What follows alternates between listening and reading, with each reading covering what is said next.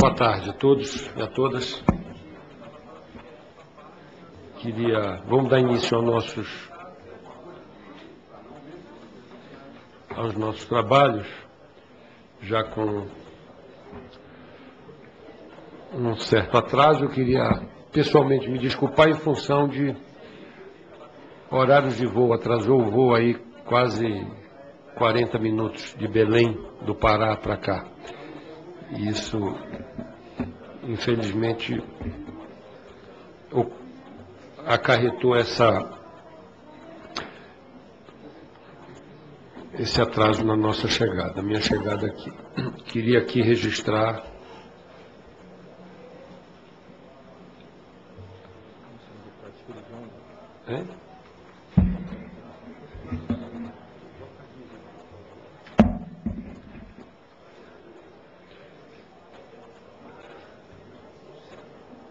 Queria declarar aberta a presente reunião de audiência pública destinada a debater a recategorização da reserva biológica marinha do Arvoredo. Requerimento para a realização deste, deste evento é de minha autoria, deputado Arnaldo Jordi, vice-presidente desta comissão.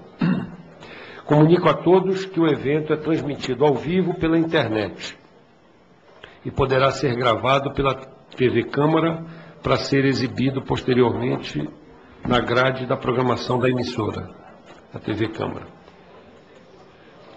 Nós, é, esse requerimento foi aprovado com a sugestão de diversos parlamentares para convite de sete convidados, sete autoridades e representantes nessa audiência.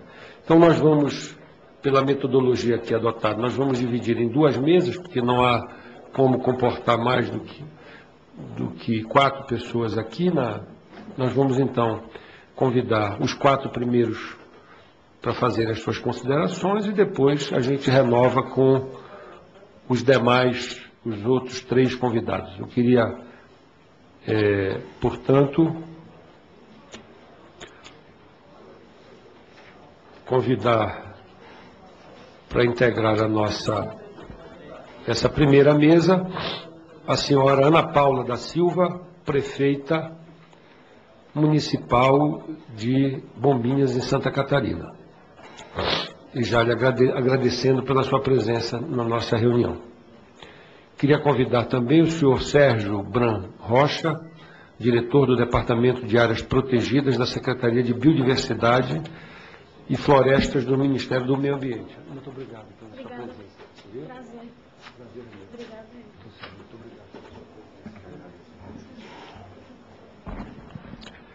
Queria convidar também o senhor Valdir Rubens Valendowski, presidente da Secretaria de Turismo de Santa Catarina.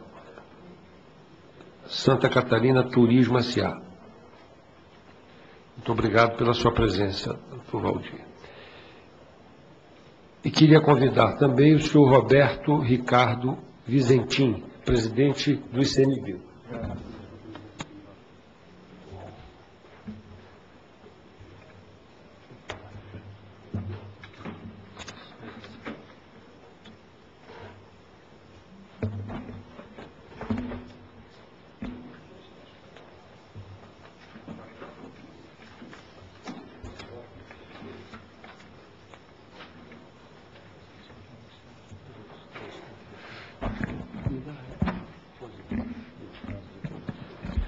Queria registrar também, e estão aqui conosco, também convidados para essa sessão, e que vão constar da, da segunda mesa, o senhor José Rubens Morato Leite, professor de Direito Ambiental do Centro de Ciências Jurídicas da Universidade Federal de Santa Catarina, e do senhor Mauro Figueiredo, presidente da Aprender Entidade Ecológica, e o senhor Renieri Balestro, representante das operadoras de mergulho de,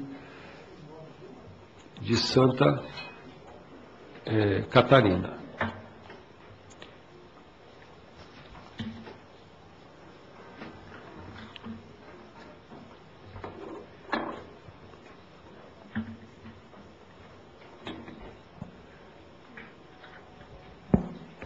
Me dê a relação, me dê a relação.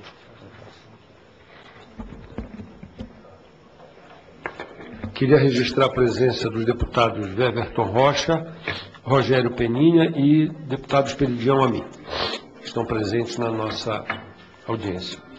Nós vamos conceder um tempo de 15 minutos, que é o que reza o que o nosso regimento, para os senhores convidados e depois nós facultamos a palavra aos senhores e senhoras deputados para fazerem as suas considerações, que, caso queiram fazê-lo aos nossos convidados. Em seguida, esgotado esse momento, a gente passa para a segunda mesa com os demais convidados que já foram aqui anunciados. Eu, portanto, então passo a palavra à nossa prefeita, a senhora Ana Paula, prefeita municipal de Bombinhas de Santa Catarina. Né?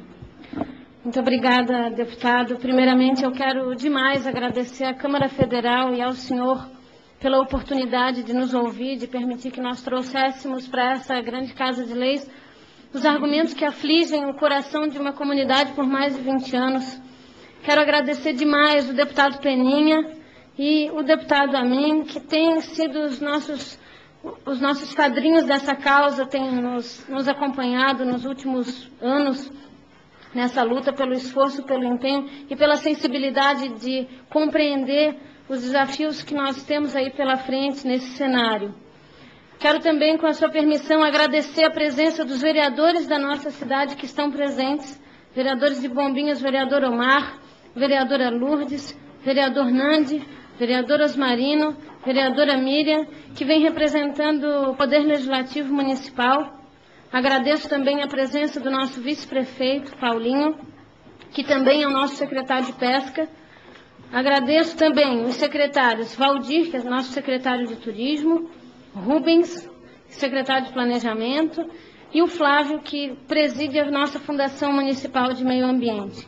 Também agradeço presentes de Bombinhas, é, as, os representantes do Convention Bureau, e nós também temos uma pequena delegação da nossa juventude, que fizeram 25 horas de viagem para ter a oportunidade de acompanhar é, o, o transcorrer dessa audiência. Quero também por final, cumprimentar todos os expositores, senhor Sérgio, senhor Roberto, senhor José Rubens, Valdir Valendowski, senhor Mauro e o Neio. É, e de pronto, já na abertura dessa minha fala, eu peço que todos nas suas exposições é, tenham a delicadeza de perceber o sentimento que aflige toda essa comunidade que vive no entorno do, da reserva do Arvoredo, que eu vou procurar expor nessa apresentação. Ela, ela fica clarinha. Fica clarinha. Obrigada. Eu posso, posso fazer a apresentação de pé? Alô. Eu acho que aqui eu posso ficar, né? Posso, posso ficar aqui na frente? Eu acho melhor, né? Deixa eu me posicionar. Como é que usa isso aqui, meu Deus do céu? Para que lado? Essa? Tá. Esse negócio aqui eu não estou muito acostumada ainda a usar. Bom, rapidamente, senhor presidente, senhores parlamentares, eu, eu esqueci de fazer mais um último agradecimento ao deputado Everton Rocha do Maranhão, que é um amigo de longa data. Obrigada por vir escutar o nosso pleito, deputado, ainda que tão distante da sua região, mas como cidadão brasileiro, pela sua grandeza de atender o nosso chamado. Bom, Santa Catarina, o Arvoredo era, era o principal destino de mergulho para o Mercosul. Não é para Santa Catarina, não é para o Brasil, para o Mercosul. Justamente pela localização e pela qualidade de seus pontos de mergulho. Eu vou passar um breve histórico para que o senhor conheça o que aconteceu conosco desde a década de 80 e o senhor entenda por que eu uso tanto, tantas vezes a referência da palavra aflição, corações e por que coloco tanto sentimento nessa causa. Na década de 80, a nossa própria sociedade identificou a necessidade de proteger a área do arvoredo. Essa era uma pauta comum nos lares dos pescadores, nos bares, na nossa cidade. A UFSC também apoiava integralmente essa ideia, e nessa época, então, eu estou fazendo um resumo dos resumos, para que eu possa é, reunir as informações mínimas necessárias nesses 15 minutos que a gente está proposto a falar. Então, nessa época, um técnico do IBAMA fez um sobrevoo pela área em um único dia e levou um documento que foi preparado, evidentemente, por então presidente José Sarney. No dia 12 de março, o nosso presidente cria a reserva, frustrando todos, todos os pedidos da sociedade catarinense na época, porque nós precisávamos e queríamos um parque nacional. A reserva, naquele momento, embora como uma medida de proteção ambiental necessária, ela foi criada sem estudos prévios, nem sobre fauna, nem sobre flora, sobre os limites que ela deveria ter, que estudos esses depois, que evidentemente foram contemplados no seu plano de manejo, mas que inicialmente para a implementação dela não existiram, e sem levar em conta, principalmente, as comunidades que viviam no entorno dessa região, prejudicando diretamente os pescadores e, evidentemente, a cadeia do turismo. E eu não falo só do município de Bombinhas. Nesse cenário, também o município de Florianópolis, governador Celso Ramos e outras cidades do entorno da reserva tiveram prejuízos econômicos. No nosso caso, foi muito mais grave, porque o nosso município tem apenas 36 quilômetros quadrados, uma área plena de preservação ambiental e que sobrevive exclusivamente da economia turística. A reserva, então, ela nesse período foi criada com uma área de 17,600 hectares, que inclui ilhas do Arvoredo, Galés, Deserta e uma parte do Calhau. O lado sul do Arvoredo ele ficou fora da, por ser área de marinha, e para supostamente permitir e não prejudicar o turismo. Mas eu já esclareço de pronto que essa área quando tem vento sul, é praticamente impossível mergulhar lá. Ou seja, não atende à questão turística o ponto que nós temos disponível lá. Isso é, é uma conversa que, que realmente não existe. Rapidamente, fazendo uma abordagem dos prejuízos ambientais que a gente entende é, em relação à implementação da reserva. Ela foi criada em 90 até 91, ela ficou absolutamente abandonada. Ninguém sabia o que fazer com ela. No verão de 91, a gente começa uma tímida fiscalização que no inverno não existiu, naquele ano. Aí a reserva passa a ser abandonada de novo. Depois de 92 a 94, opa, perdão. De 92 a 94, foram feitas em torno de 200 saídas de, de monitoramento e fiscalização e todas, todas utilizando os meios provedores das escolas de mergulho, que eram essas embarcações. De 94 a 96, a reserva ficou então fechada para atividade de mergulho ecológico e praticamente sem fiscalização nenhuma, sem pesquisas, apenas infrações. Em 97 foi assinado um termo de ajuste entre, entre o IBAMA, as operadoras e a Polícia Ambiental e a Univale, e aí, de 97 a 2002, a gente teve o melhor período da reserva, onde efetivamente é, é, na, na, na, questão de respeito à fiscalização, de educação ambiental e até mesmo de pesquisas científicas e conservação da biota, porque havia uma presença efetiva do mergulho contemplativo e, obviamente, dos or organismos também de fiscalização que estavam apoiados, amparados nas escolas de mergulho pela falta de infraestrutura do IBAMA na época. Na época, inclusive, foi doado, foi cedido, na verdade, um barco, uma, uma embarcação de 10 metros para fiscalização, né? Foi doada pelas é, operadoras. E aí esse período se encerrou em 2002, quando definitivamente é fechada a reserva para o turismo subaquático. Nós tivemos muitos efeitos e prejuízos econômicos, mas resumidamente, para a gente não ficar muito é, expondo o quadro, eu quero dizer para vocês que num período de baixa temporada, eu falo de um município de 17 mil habitantes e 36 quilômetros quadrados que vive do turismo. Na baixa temporada, nós tínhamos entre mergulhadores com certificação e pessoas que iam para essa comunidade fazer curso, inclusive turistas internacionais, uma média de 12 mil pessoas. Hoje não chega a mil pessoas o número de visitantes. 17 operadoras de mergulho. Hoje nós temos duas e meia, eu nem digo que é três. E visitantes para passeio, a gente teve também uma queda de 50%.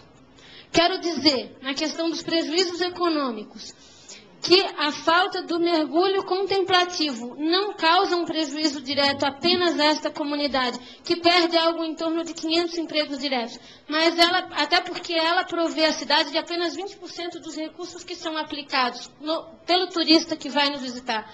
A maioria do dinheiro dele, ou seja, 80%, ele gasta com hospedagem, ele gasta com alimentação, ele gasta com transporte, ele gasta no artesanato, na loja, na loja no comércio, enfim para os senhores entenderem o porquê também de todo, de todo o impacto que foi gerado lá. Então, hotéis, pousadas, lojas, a pesca artesanal, transporte aéreo, setor da construção civil, agências operadores, transportadoras turísticas, todo mundo sofreu e sofre ainda os prejuízos da implementação desse modelo de, de, de unidade de conservação até hoje. Bom, na questão do mergulho, de do, a, depois de 2002, de primeiro lugar, a gente passou para quase do primeiro lugar do Mercosul de, como ponto de mergulho, a gente passou a quase a exclusão devido à pouca quantidade de poucos pontos disponíveis. É, essa situação, evidentemente, que gerou todo um desânimo na nossa comunidade, uma falta de foco, de rumo do entendimento econômico que a cidade, do viés econômico que a cidade deveria seguir a partir de então porque nós estávamos amparados nisso, inclusive a, a, a, formação educacional nas escolas públicas de ensino da rede municipal eram balizadas no processo de construção de parceria com a Arvoredo. E enquanto isso, a gente vê Bonito, Recife, Salvador, Rio de Janeiro, Guarapari, Abrolhos e outras tantas, é, outros tantos destinos turísticos do Brasil é, desenvolvendo o seu turismo subaquático, né? A gente perde. Santa Catarina hoje, como tinha esse como seu principal ponto de mergulho, sai do mapa de roteiro turístico. Eu nem pus aí todas as questões de, de, de mídia e de divulgação, porque eu acho que não é o caso, né? Mas a realidade, é, senhor deputado Arnaldo, para o senhor conhecer hoje, o que está acontecendo hoje? Eu estou falando isso para o senhor com todo conhecimento de causa, porque eu moro lá, como essas pessoas também moram lá e a gente frequentemente está envolvido com a questão da reserva. A sociedade inteira, inclusive as futuras gerações, esses jovens que estão aí na rua pedindo que nós façamos algo diferente por eles, todos nós estamos excluídos da reserva do arvoredo. O meio ambiente com certeza está sofrendo os efeitos dessa proibição porque ninguém está lá.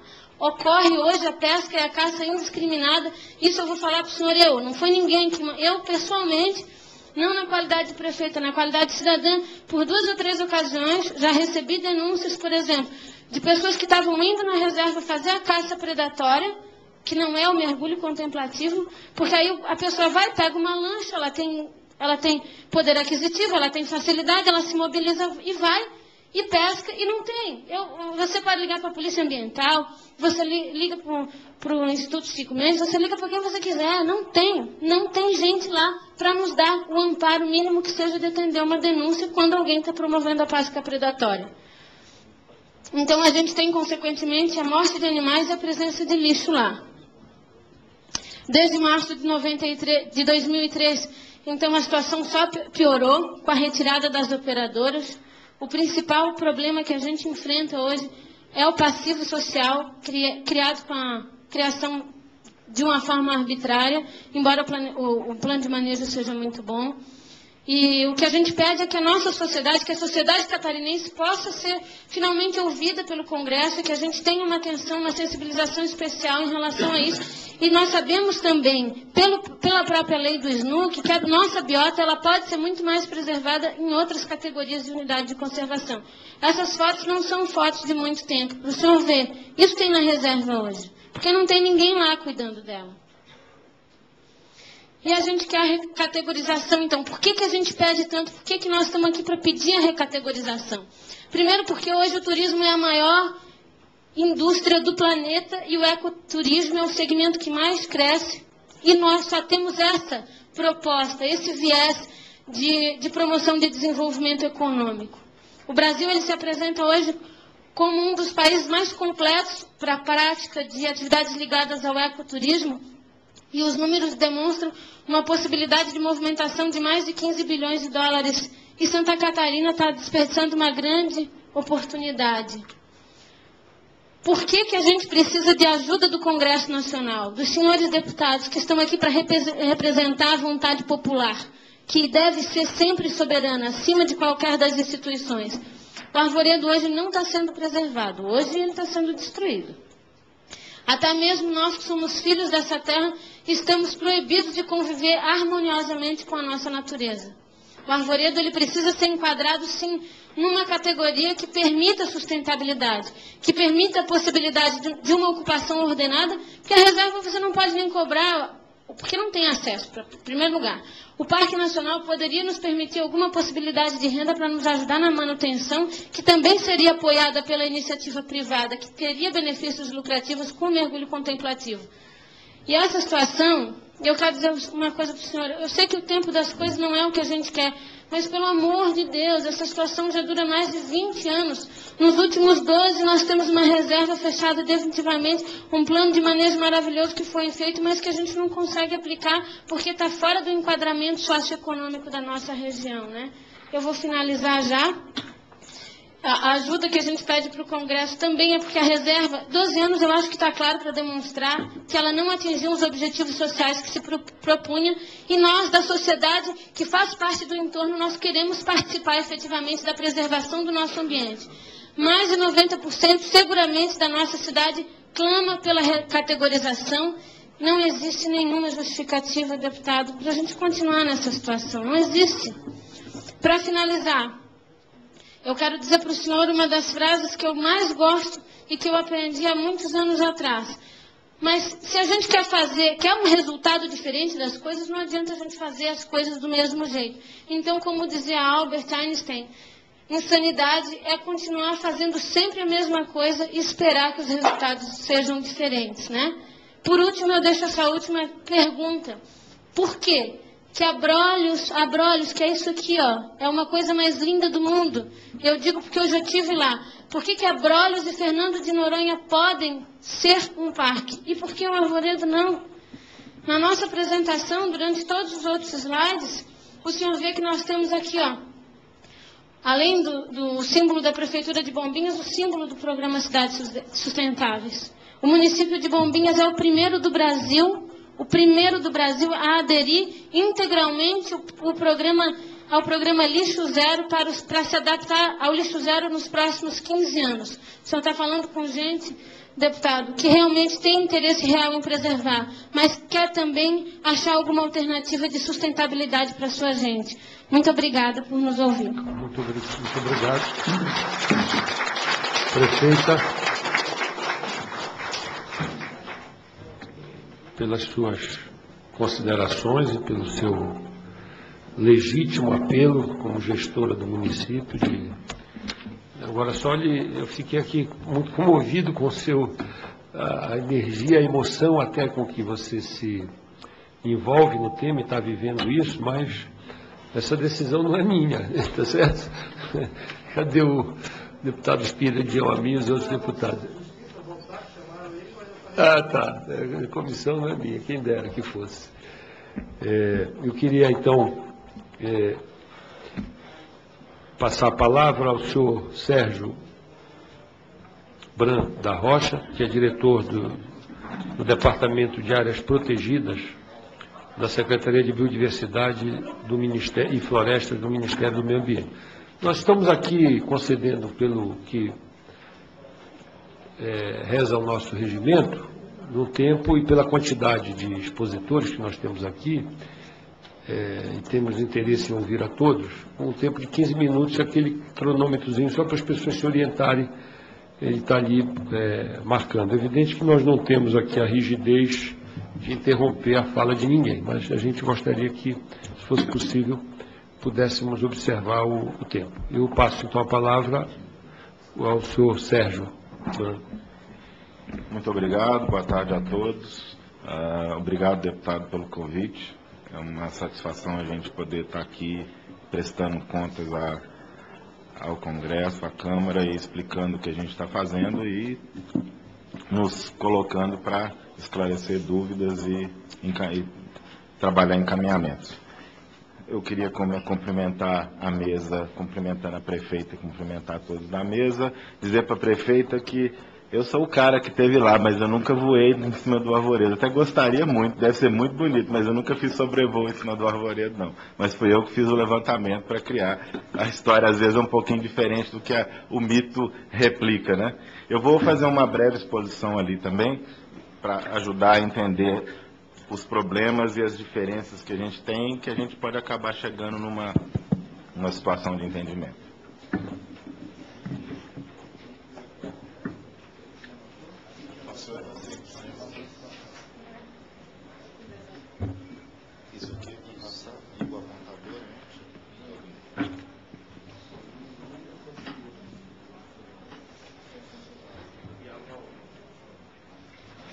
Bom, o, o, Brasil tem uma situação complicada em termos de proteção do litoral. É a área a, histórica que começou o processo de ocupação do país e exatamente por ser a área onde, desde o do, do início da colonização, você teve a fixação principal de população, é a área onde você tem mais problemas ambientais decorrentes de ocupação humana, de urbanização na região a que a gente está falando, litoral sul de Santa Catarina, quer dizer, eu sou um, um, cara meio suspeito para falar de Santa Catarina, que apesar de ser mineiro, eu sou apaixonado por aquele estado. Então, eu acho tudo ali lindo e me preocupo, obviamente, com as coisas que acontecem ali. Santa Catarina tem, se não é o litoral mais bonito do Brasil, porque disputa ali com sul do Rio de Janeiro e norte de São Paulo, mas no conjunto talvez até tenha mais pela diversidade de paisagens que você encontra ali. Mas ao mesmo tempo se gente, também. Se a gente fizer uma pesquisa aqui, essa dúvida vai ser dissipada rapidamente. Eu acredito que é capaz de ganhar. Mas de qualquer maneira, quer dizer, exatamente esse patrimônio que o Estado tem também gera uma responsabilidade especial de você tomar as medidas necessárias para a proteção dele, de forma que se você perpetue isso, porque o uso, às vezes, intensivo num determinado momento pode simplesmente acabar com a permanência daquilo para o futuro e é exatamente o que atrai, o que dá tanto valor à região. E essa é uma das coisas que a gente vê acontecer em Santa Catarina nos últimos 20 anos, quer dizer, uma transformação violenta do espaço litorâneo, você vê a própria ilha de Santa Catarina, as mudanças que têm acontecido na ilha de Santa Catarina ao longo dessas últimas duas décadas são assim incríveis. Você que vai lá às vezes a cada dois, três meses, você vê mudanças muito rápidas em termos de urbanização, em termos de transformação do espaço. É um processo natural, mas é um processo também preocupante. Por quê? Porque a gente tem que pensar nas salvaguardas necessárias para que esse processo não acaba destruindo o, o que tem de mais especial naquela região. E outra coisa muito comum no litoral brasileiro, além da intensa utilização dos recursos naturais, que é decorrente não só de ocupação do espaço por urbanização, mas também de pesca, de pesca comercial, de utilização de uma série de recursos, você tem, você tem como consequência a ausência de refúgios para as espécies que são importantes até mesmo para a manutenção das, das atividades comerciais. Quer dizer, se você fala de utilização de fauna marinha para atividade comercial, você tem que pensar que se você não tiver um manejo adequado dessa fauna, ela vai durar um determinado tempo e vai sumir. E às vezes criando problemas extremamente graves, como aconteceu no Canadá alguns anos atrás, que houve a necessidade de proibição total da pesca do bacalhau, que era a principal fonte de renda de uma vasta comunidade litorânea do, do Canadá. Isso gerou problemas gravíssimos, porque não havia mais. A, a, solução foi proibir totalmente, não foi mais nem regular em função do grau de degradação que chegou a atingir. O Brasil, hoje, quando a gente fala de áreas protegidas terrestres, nós estamos relativamente bem. A extensão total protegida em torno de 16%. Aí quando você fala de, de, da superfície do país, quando você fala de áreas marinhas, 1,5%, e desse 1,5%, 0,1% é de área de proteção integral, ou seja, aquelas áreas em que a utilização dos recursos é limitada de forma mais estrita, seja Parque Nacional, seja Reserva Biológica. A criação do arvoredo, quer dizer, ah, como foi o processo? A, quem propôs a criação do Arvoredo para o governo federal foi uma pessoa física, foi o André Ferreira, uma, um ambientalista de, que morava em, na, em Florianópolis, na região, era uma pessoa engajada em conservação. Ele foi a pessoa que efetivamente provocou o governo federal para a criação dessa área. Escreveu, fez documentos, mostrou um monte de de trabalhos resultantes de avaliação que ele e várias outras pessoas estavam fazendo na região, mostrando que o processo de degradação da região estava caminhando de forma extremamente rápida e séria e uma das razões, inclusive, da, da, nossa, do trabalho de coisa foi, na verdade, a degradação causada por mergulho turístico e caça submarina. Isso acontecia na época que o parque foi, que a proposta foi encaminhada. Com a, com a proposta que ele mandou, isso está tudo inclusive documentado no processo de criação da reserva biológica, para quem achar que estou é, criando a coisa aqui agora. Mas a nossa ideia, por tudo que a gente recebeu na época, era criar um parque nacional. Quando a gente foi, todo toda a preparação do trabalho de campo foi feita em cima da ideia de que a área se prestaria para um parque nacional. E foi com essa ideia que a gente foi fazer as vistorias de campo. O problema é que quando você chegou na área e viu a situação da área, a limitação, o tamanho, a proximidade do continente, a, as ameaças que existiam, ficou completamente inviável você desenhar um, um parque nacional na área. O André nunca concordou com isso, se eu vou ser justo com ele, que é o autor original. Ele nunca quis uma reserva biológica, ele entendia que a área devia ser um parque nacional, e a gente debateu muito, debateu muito dentro da superintendência do IBAMA com as pessoas que conheciam, que cuidavam de pesca, essa coisa toda, tentando ver se existia alguma alternativa. E o problema era exatamente esse. A área era extremamente limitada, você estava trabalhando muito mais com água do que com área, área terrestre. Você tinha muitas outras opções, quer dizer, o litoral de Santa Catarina é um litoral extremamente rico em termos de opções e alternativas para mergulho, tem várias ilhas, tem costões, tem todo tipo de, de área. Então, na verdade, a, a, a separação daquele pedaço para uma proteção mais estrita não iria, em princípio, causar um, um, dano total a uma atividade que já existia, que estava sendo fonte de, de problema na região, mas também garantiria a proteção dos recursos que era necessário a gente dar atenção e mudar a forma de, de lidar com isso.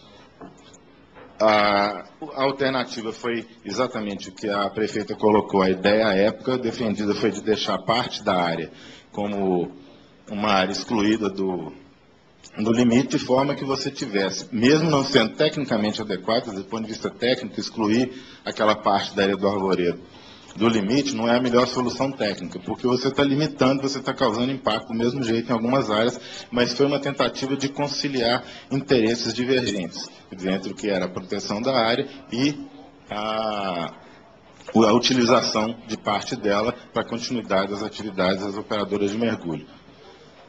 Os problemas que a gente enfrentou com relação a, a essa situação e que chegou na, na criação da reserva biológica, quer dizer, Primeiro, assim, no litoral sul brasileiro não existia nenhuma outra unidade de conservação de proteção integral no mar. Arvoredo foi a primeira e é hoje ainda praticamente a única existente. A ocupação e transformação do litoral em toda aquela região, não só na ilha de Santa Catarina, mas em toda a região que vai ao norte, inclusive no próprio município de que a prefeita administra e de Bombinhas, Porto Belo, a região de Porto Belo foi uma área que teve um desenvolvimento imobiliário bastante grande naquela época. E para o norte, quer dizer, você também tem Camboriú, quer dizer, todo, o litoral de Santa Catarina é um litoral que é difícil você falar que área que não tem gente interessada nele. Então, essa pressão nos preocupou com relação ao, aos impactos causados no ambiente, porque, na verdade, o problema do ambiente marinho é que ele sofre a consequência de tudo que acontece na área, na área de terra adjacente. A área de arvoredo era relativamente muito próxima do, do continente. Isso também estava havendo uma pressão, aumento da pressão de uso dos recursos. Havia uma necessidade de proteção de espécies. Isso era uma constatação do pessoal de pesca do IBAMA à época, que havia um problema grave de sobrepesca naquela região, não só exatamente de Arvoredo, mas toda aquela região envolvendo aí ali a ilha de Santa Catarina, e a questão de baixa capacidade de carga das áreas que estão incluídas dentro da área de, de Arvoredo. O problema, por exemplo, vocês vão ver é, mais à frente no mapa que a gente vai mostrar, que na verdade Arvoredo pega realmente uma área muito pequena de um conjunto muito maior de áreas com potencial de uso turístico e mergulho, o que, que foi. Então, na verdade, a gente estava protegendo com uma medida restritiva apenas um pedacinho desse, desse, dessa área que tem potencial para uso e, na verdade, vocês vão ver que isso não, não pode ser a razão do fim da atividade de mergulho em Santa Catarina. Um proteger uma área daquele tamanho, de um conjunto maior, tão especial como é, nunca pode ser considerado como razão de uma determinado tipo de atividade se reduzir. Com certeza, se isso aconteceu, existem outras razões. A criação como reserva biológica tinha um objetivo de reduzir tráfego de embarcações e reduzir pressão de captura na região. A proximidade da costa era um fator que estimulava e facilitava o acesso e, portanto, dificultava o controle. Esse é um dos problemas com a, com a, com a ideia de Parque Nacional e talvez um, um dos problemas que diferenciam mais a questão de Abrolhos e Fernando de Noronha, que são áreas afastadas da costa, em que a pressão é muito menor de demanda, exatamente pela dificuldade de acesso. O, a ideia de Parque Nacional é outro problema. Por quê? Porque Parque Nacional é uma marca muito forte. E, na verdade, ao você transformar uma área em parque nacional, o que você faz é atrair muito mais atenção e muito mais interesse para aquela área. E, com isso, dificulta muito mais o processo de ordenamento do uso. Então, aonde você vai realmente fazer um parque nacional, você tem que pensar nessas coisas antes, e ali você tem uma dificuldade real de ordenamento do uso. A área tem dificuldade para ter atracação, é uma área de, importante para a identificação de aves marinhas. E aí vem dizer, Arvoredo é isso aqui. Né? As ilhas de maior destaque está a ilha do Arvoredo, a ilha deserta, a ilha das Galés. Você vê todo o litoral de Santa Catarina, você vê, você vê basicamente como que o processo de ocupação, de alteração do espaço está se expandindo de forma acelerada nessa região. Isso tem implicações em termos de sedimentos. A própria ilha de Santa Catarina, aqui, Florianópolis crescendo cada vez mais, a expansão do uso turístico. E como você pode ver, existem ao longo dessa região dezenas de outras alternativas. Além de costões, também você tem ilhas. Então, assim, áreas propícias para mergulho você tem. O problema é que exatamente pelo mau uso, boa parte dessas áreas está perdendo a importância, perdendo o valor, está sendo descaracterizado. Né? Que um, um, uma aproximação maior da, do perímetro que foi feito a reserva, basicamente é uma área de mar, fundo, na verdade não é nem fundo rochoso, falar, por que proteger fundo de areia? Exatamente por ter uma área de passagem protegida, livre de pressão de pesca. Aqui você tem a situação que foi feita, que é exatamente você excluir ah, o costão da Ilha do Arvoredo, que fica a oeste da ilha, para permitir também que haja alguma atividade de mergulho continuada nessa região. Um detalhe, quer dizer, todo esse costão da Ilha do Arvoredo está excluído, são quase 4 quilômetros de, de costa que foram liberados para a prática do mergulho. Essa é exatamente essa, essa região. Opa, desculpa essa região aqui que está fora, que abriga instalações da Marinha, abriga o farol, é essa, essa região aqui, que é a área que, que utilizam para fundeio, inclusive. Apesar da, da, prefeita falar de problemas, eu concordo com ela quando ela faz uma crítica à gestão da, da reserva nesse tempo todo, realmente é muito aquém do que precisava, do que deveria ser feito. A gente pode falar que apesar dos muitos problemas que existiram e que existem, Arvoredo é um sucesso em termos de bons resultados. Por quê? Tem uma, tem uma intensa atividade de pesquisa. Ah, isso, isso, são dados constatados pelo pessoal, principalmente da Universidade Federal de Santa Catarina. Tem um grupo pesado que faz pesquisa nessa região. Então, quer dizer, a proteção de macroalgas é uma coisa visível e de resultados palpáveis dentro da própria reserva. Há um aumento constatado de biomassa de peixes herbívoros há um aumento constatado da biomassa de invertebrados e há um aumento constatado da biomassa de predadores de topo. Os predadores de topo são espécies extremamente importantes porque elas são indicativas de qualidade do ambiente. É como uma onça pintada na floresta. Se a população de onça é saudável, é um sinal de que aquela área tem um mínimo de proteção adequado, que está mantendo os predadores que são mais exigentes em termos de ambiente para sobreviver. É o caso específico da região lá com predadores de topo. É uma concentração na região de Arvoredo 240% maior de garoupas, que é uma espécie significativa desse grupo, do que em qualquer outra ilha do, do conjunto em volta da ilha de Santa Catarina. Quais são os problemas com o turismo numa área como essa? Os vários tipos de impactos que o turismo e o, e, e o mergulho associado causam na área. Problema de âncora sobre os rodolitos, que são as formações de algas vermelhas. A questão de toque e coleta nas estruturas existentes pelo mergulhador, é uma questão natural de o, o mergulhador é curioso, por mais que você tente controlar, e essa é a dificuldade, por exemplo, quando você fala em Fernando de Noronha de mergulho, em Fernando de Noronha por estar afastado do continente, por só chegar à ilha quem é previamente autorizado, esse tipo de coisa, você tem uma capacidade de controle muito maior. Todas as operadoras são concessionárias, cada mergulhador, que cada mergulho que é feito é acompanhado e monitorado. Você tem um número muito menor de pessoas que demandam essa área exatamente pela distância, pelo custo, por essa coisa toda. Numa área que você tem um acesso fácil, o que a prefeita usou como argumento é, inclusive, bastante é, correto, mas pode acontecer também se você mudar a categoria. Essa história de que você tem gente que vai por conta própria, gente que vai fazer predar, porque mudar a categoria não muda a situação da, da unidade em termos de conservação, pelo contrário, dificulta. Numa reserva biológica, por não ser permitido o uso, você sabe que quem está lá está irregular. Num parque nacional, por ser permitido o uso, você, ou você vai é, fazer uma concessão e vai ter um único é, empreendedor privado que vai ser detentor dos direitos de fazer mergulho na área, inclusive associado à limitação do número que é possível, em função da capacidade de carga da área, ou você vai ter uma área mais descontrolada ainda, porque a existência do parque ela é um atrativo para as pessoas. O fato de você transformar Broilers em parque levou mais gente para lá. Qual o problema de qual a situação específica da Broilers? A distância da costa, da costa limita o número de pessoas que pode acessar aquela área. Você tem, além de outro, outro tipo de impacto, quer dizer, a presença dos barcos, barulho a poluição dos motores, a movimentação de sedimento de fundo por nadadeira, impacto nas comunidades de, de marinhas e de aves. Então, na prática, quer dizer, você tem, afinal, essa é a ilha do deserto, são estruturas que não têm capacidade de receber gente, quer dizer, desembarque, vai ser basicamente um turismo marinho limitado. O número de pessoas que você poderia receber é muito pequeno em função da demanda que existe.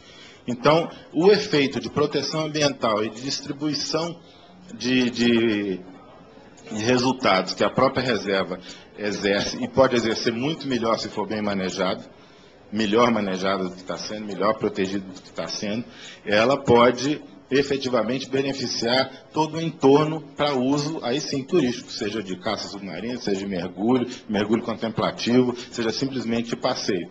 Então é por essa razão que a gente continua achando que ainda não existem bases para justificar a mudança de transformação, a transformação de categoria de arvoredo para Parque Nacional. Ela não resolveria o problema de demanda de, de área para mergulho, porque a, área, é, a capacidade é muito limitada ela não vai. Ah,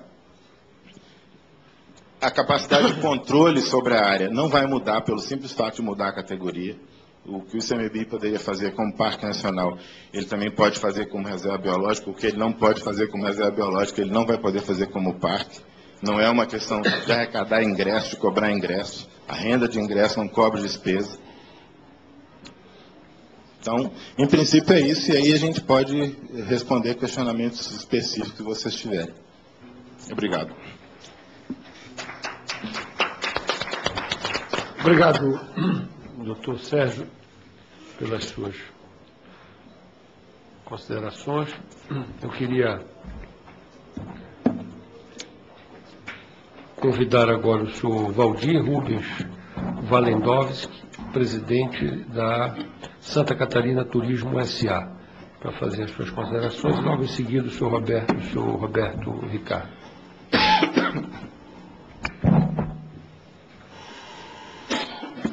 Boa tarde a todos e a todas. É, cumprimentar o deputado Arnaldo Jordi, cumprimentar a prefeita de Bombinhas, Paulinha, toda a sua equipe, aos debatedores que estão aqui, nesse momento, fazendo o seu papel de de cidadãos brasileiros, discutir essa questão que é tão importante, não só para Bombinhas e, e a sua região, mas para Santa Catarina. Quero cumprimentar também o deputado Peninha e o deputado Esperidião a mim, e junto conosco defendem não só essa questão de discussão hoje, mas o turismo de forma geral como um fator determinante para o desenvolvimento de Santa Catarina e ajudando o Brasil nisso. E, e dentro desse foco que eu queria... Ah, e o Valdir, que é o secretário de Turismo de Bombinhas, e cumprimentando ele, cumprimentar todos os secretários e as pessoas de Bombinhas que aqui estão. Então, dentro desse foco, que está sendo discutido hoje com relação a,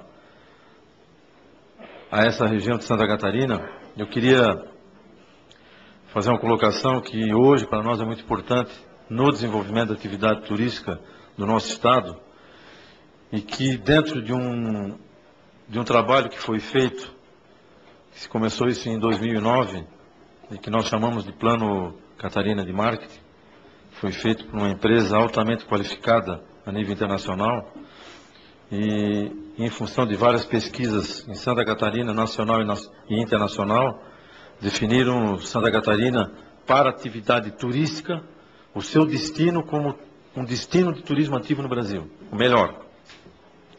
Então, é dentro desse aspecto que nós, falando principalmente da área de turismo, e com algumas pessoas dentro do governo também que, que acreditam nessa questão de, de tornar o nosso Estado um, um destino altamente qualificado de turismo ativo no Brasil e que procuram, através dos seus conhecimentos técnicos, é, também na área ambiental, fazer um trabalho mais profundo, relacionado também com os parques que são de propriedade do Estado de Santa Catarina, que a gente vinha discutindo anteriormente aqui com o Mauro e com o, com o José da Universidade Federal. Eu acho que são discussões que nós é, eu queria ter essa oportunidade também de dizer isso, que a gente está trabalhando nisso. Né? A gente tem que socializar todas essas questões ambientais, científicas e turísticas o melhor possível, até para poder qualificar melhor o, as pessoas, né? não só a qualificação dos habitantes de Santa Catarina, mas dos brasileiros. E nessa oportunidade queria dizer também que nós estamos numa fase em que o Brasil né, dando um exemplo, ano passado, deixou 27 bilhões de dólares fora do Brasil com os turistas brasileiros. A gente não está conseguindo reter as pessoas no Brasil.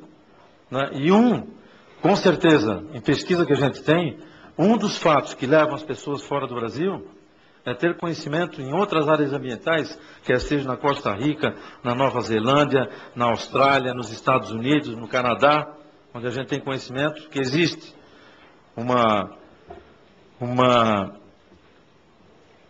não uma liberação, mas leis que protegem o meio ambiente e leis que deixam fazer com que as pessoas, principalmente, elevem seu conhecimento técnico, seu conhecimento científico nos parques ambientais do planeta. E que cada vez mais os parques ambientais é, revertem a situação de degradação e ficam cada vez melhores. E dentro do, do, do governo de Santa Catarina tem um, nós temos umas pessoas trabalhando com relação a essa questão, que nós achamos que é fundamental, até porque tem áreas que são parques estaduais que estão se degradando em função de uma invasão a cada dia que passa. E a gente tem que reverter, reverter plenamente isso. Nós somos a favor de um plano de manejo, nós não estamos aqui indo contra a lei de forma nenhuma. A gente quer que realmente se faça um plano de manejo, e aí sim, para oportunizar a pesca artesanal, né, que é característica do povo de Santa Catarina. Né? A cultura dos nativos é característica nisso, em toda a costa de Santa Catarina. Isso a gente não pode deixar perder também. Faz parte, inclusive, do nosso rol de atrativos na área cultural, a pesca artesanal. Né? É super importante. Na região de Bombinhas ela é super importante também. Então essa cultura soriana não podemos deixar perder. Faz parte disso. Então, nesse plano de manejo, a pesca artesanal, o turismo organizado, né, como foi falado aqui pelo nobre colega que me antecedeu, anterior, que me antecedeu né, a gente sabe que tem que ser organizado. Mas hoje, com a consciência que, que se tem, com certeza o turismo ele é menos predador do que antigamente. Né, nós estamos falando de uma situação de 20 anos atrás que é totalmente diferente de hoje. E que não só no litoral, mas é, é, você subindo a serra em Santa Catarina, você hoje vê uma, uma preservação não só da, da, de, todo um, de, de, toda uma floresta, principalmente, aí eu digo da, da do nosso pinheiro brasiliense, a araucária, né, que ela está amplamente preservada e que a olhos nus, a cada ano que você passa, você enxerga o crescimento dessa mata que é, um, é para mim, uma das matas mais, mais importantes e mais bonitas para a contemplação que existe no mundo. Né? E, e eu digo isso também de vários amigos que vêm do exterior e que contemplam essa natureza de Santa Catarina, tanto do mar como da serra, que é fantástica. E, com certeza, no turismo organizado nós vamos ter cada vez mais uma contemplação da, dessa natureza com cuidado cada, cada vez maior.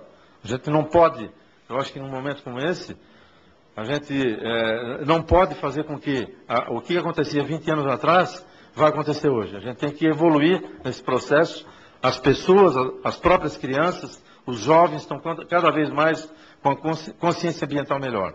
Isso, é, no dia a dia que se passa, nas, com as pessoas que a gente fala, com os jovens que a gente tem contato, isso é cada vez mais frequente, e as pesquisas que se tem também uh, dizem isso. Dizer que esse segmento turístico para Santa Catarina ele é super importante. Numa pesquisa atualíssima que nós tivemos agora, uh, e que Santa Catarina, graças a Deus, na pesquisa com relação ao turismo, é o estado que tem a, a, a pesquisa histórica maior desse país. Há mais de 20 anos nós fizemos pesquisa. Né? E em janeiro e fevereiro, nós tivemos em torno de 3 milhões e 800 mil pessoas circulando por Santa Catarina. Isso são os catarinenses também que fazem turismo, os brasileiros e os estrangeiros. Uma permanência média de quase nove dias. Né? Uma permanência bem superior, inclusive, a outros estados do Brasil. Motivo da viagem é 82,95% é turismo, é turismo, e o importante nisso tudo, 44,77% é o atrativo natural. Dentro desse contexto. Então, nós sabemos que nós temos que preservar cada vez mais e melhorar cada vez mais essa condição de Santa Catarina. Disso tudo, eu não quero me estender muito, disso tudo para a região, e aí eu falo também não só na região de Bombinhas ou da Costa Verde Mar, eu me estendo também até Florianópolis, esse segmento turístico, por essa pesquisa que nós temos, ela é uma pesquisa da Organização Mundial de Turismo, ela é OMT, a OMT é um braço da ONU, então ela é uma pesquisa científica. Nós podemos ter gerado para essa região, em função desse segmento, algo em torno, prefeita, de 21 milhões de reais. E que nós deixamos de injetar na economia de Santa Catarina e dessas regiões um valor considerável, que é esse valor que se tinha nas devidas proporções quando se começou esse turismo em Santa Catarina. Dizer também que em Florianópolis, na época que se tinha é, é, esse turismo na região, eram aproximadamente 20 empresas que faziam isso, e hoje são seis empresas que trabalham, e nessas, nessas empresas trabalham em, em média entre 20 e 30 pessoas, então é um, é, elas têm um poder também de absorção de mão de obra é, e uma mão de obra qualificada, porque não é qualquer pessoa que trabalha nesse, nesse segmento.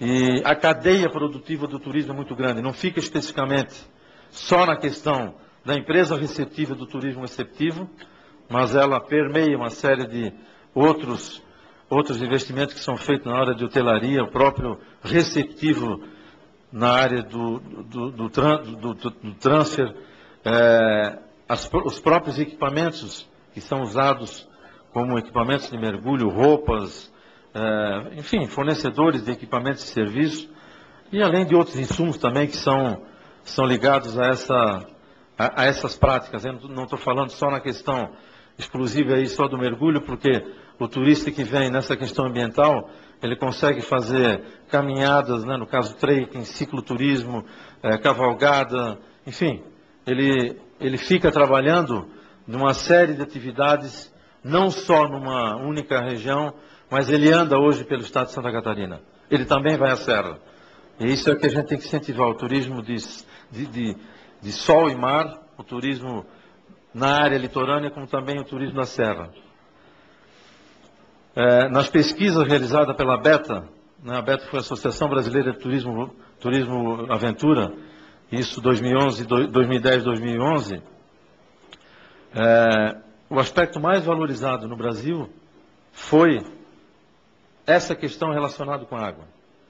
E também é uma questão mundial, onde todas as pesquisas apontam como que, como que 50% do turismo do mundo tem relação, relações com a água. Não é diferente no Brasil, também não é diferente em Santa Catarina. E dentro disso, a que mais é procurada, a que mais as pessoas têm interesse dentro do, do, desse segmento, é a questão do mergulho. E muitos até querem fazer por uma experiência pela primeira vez. Né, muitas pessoas fazem turismo de aventura, praticam alguma uma atividade relacionada com a questão do meio ambiente, mas nunca tiveram essa atividade de mergulho como uma, como uma forma de fazer a sua experiência relacionada com o mar, ou com o rio, ou com lagoa. E, e essa é uma atividade, então, que desperta muito interesse das pessoas. Santa Catarina foi considerado realmente um dos lugares melhores do mundo para se praticar esse tipo de atividade. E hoje não é mais. E com certeza, era o principal no Codesul, que são os quatro estados do Sul, onde a gente tem reuniões de trabalho mensal, e também para o Mercosul, essa atividade. Então, trazendo também para o Brasil uma forma de se aumentar o fluxo turístico internacional. E um exemplo disso é que, na sede da Copa do Mundo, que é Curitiba, no Paraná, um dos itens relacionados com a questão de turismo, foca na questão do turismo de, de mergulho na região de Bombinhas e Florianópolis. Então, a própria FIFA definiu como um ponto estratégico relacionado com essa atividade turística.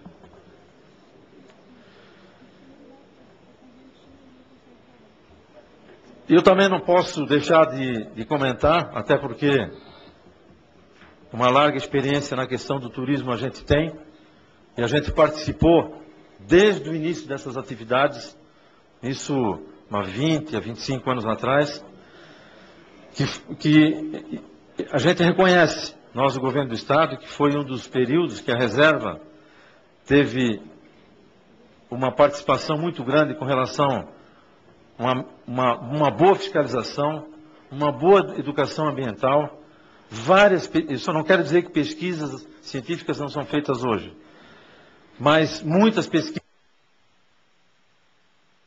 começaram a ser feitas naquela época e com apoio, inclusive, das operadoras de mergulho.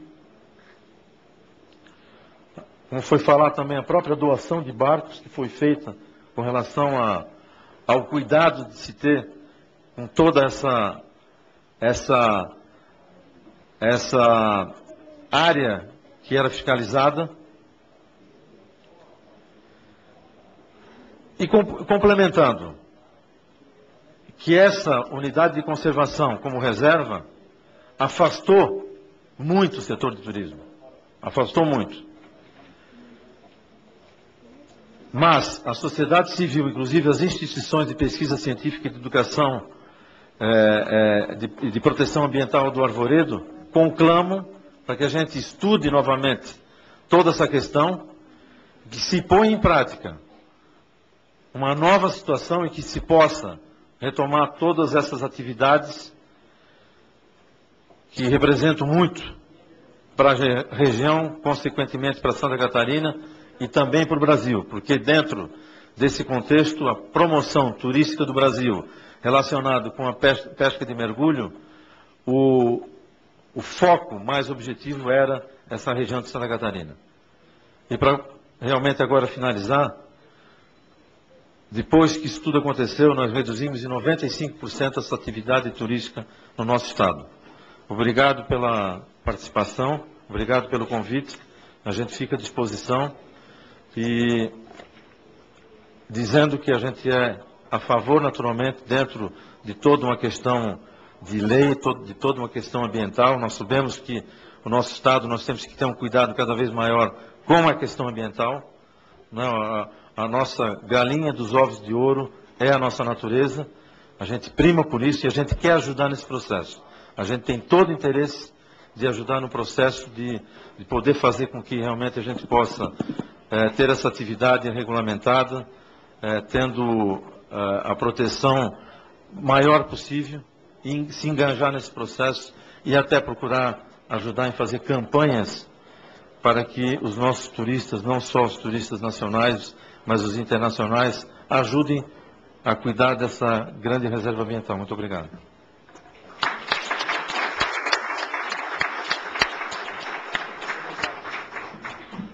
Muito obrigado, senhor Valdir Rubens, é, pelas suas considerações. Eu vou passar a palavra agora ao senhor Roberto Vizentim, que é presidente do ICMBio, do Instituto Chico Mendes. Obrigado, deputado Arnoldo Jordi. Uma saudação muito respeitosa a todos e a todas, e especialmente a... Ah, para... Tá, muito bem. Não, eu não vou fazer nenhuma instrução. Estava fazendo uma saudação a todos e a todas. Um cumprimento especial ao deputado Arnoldo Jordi, tem um mandato dedicado às causas democráticas, compromisso com direitos humanos e também ambientais. Me lembro que da última vez que estivemos juntos foi numa circunstância menos prazerosa, justamente ah, discutindo os problemas da violência na Amazônia, assassinato de lideranças, trabalhadores rurais, e o deputado Jordi ainda com seu mandato estadual, sempre é, em defesa né, é, dos direitos humanos das causas democráticas do nosso país. Cumprimento especial também à senhora prefeita, ao colega Sérgio Brant, do Ministério do Meio Ambiente, e ao nosso presidente.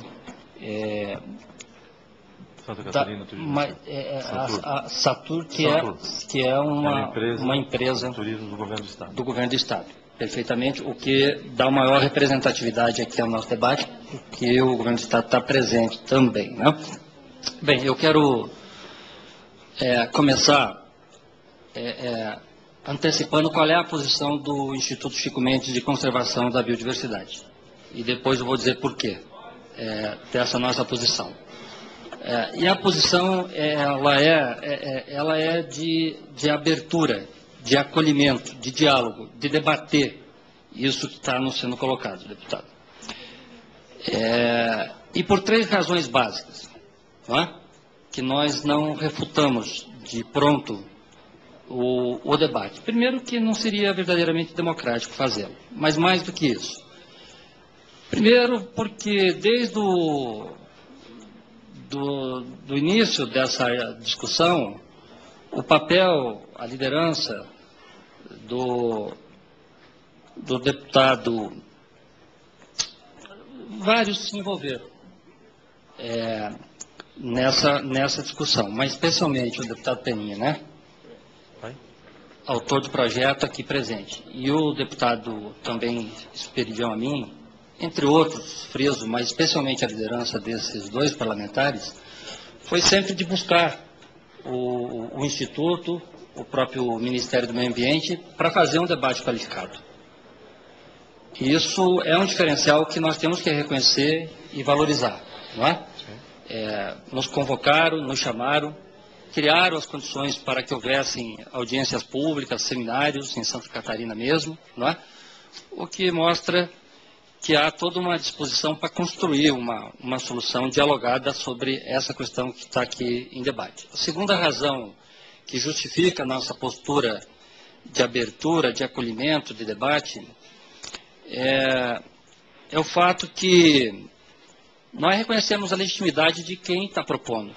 Nós ouvimos com atenção o que disse a, a senhora prefeita, os cartazes que foram expostos aí, é, pela juventude e outros representantes da comunidade.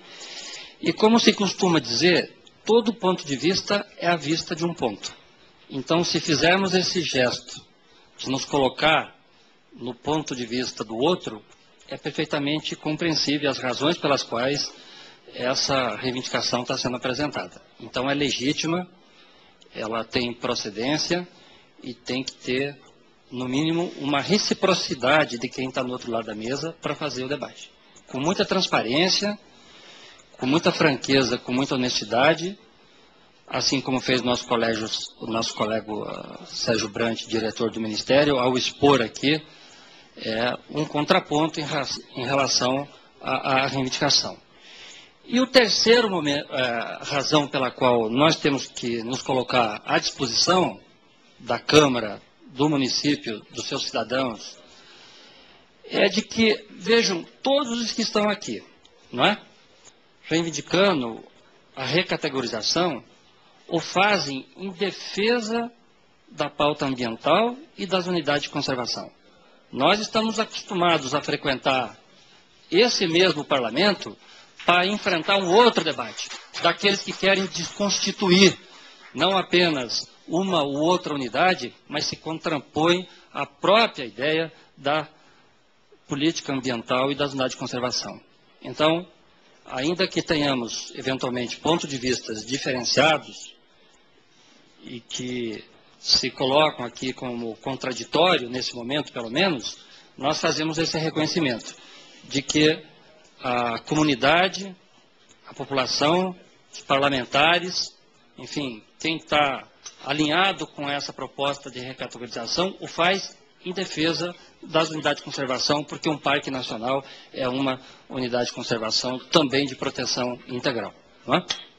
Muito bem, então, é, essas são, são, são, são razões que é, nos permite realizar um debate também diferenciado. Tá certo? Um debate é, orientado por uma racionalidade, por uma lógica ilustrada e comprometida com a preservação do meio ambiente. Por isso, o tratamento também tem que ser diferenciado. Muito bem. Agora, é, eu observei tanto os argumentos da senhora prefeita, como também do colega Sérgio Brant, e quero chamar a atenção aqui e aproveitar essa oportunidade para que o, o, encaminhamento que seja assumido, o papel do relator, o trabalho na comissão, o desdobramento dessa audiência, possa trazer um salto qualitativo. Nós também não, não, não, não podemos, intencionalmente ou não, é, passar por esse momento dessa audiência aqui e, e, não avançar numa direção que represente um acúmulo e uma condição qualitativa superior a essa que nós entramos aqui. E eu queria fazer uma, uma, uma observação de ordem geral, sem abstrair do caso concreto da reserva biológica, do tema da nossa audiência, mas é, é, colocar em questão também essa outra dimensão do problema. É muito comum em diferentes regiões do país e circunstâncias geográficas, socioeconômicas, existiu uma expectativa muito grande sobre o, o, potencial que as unidades, especialmente os parques, Parque Nacional no caso, é? mas também os parques estaduais, o potencial que esses espaços, essas áreas protegidas têm de alavancarem o processo de crescimento econômico.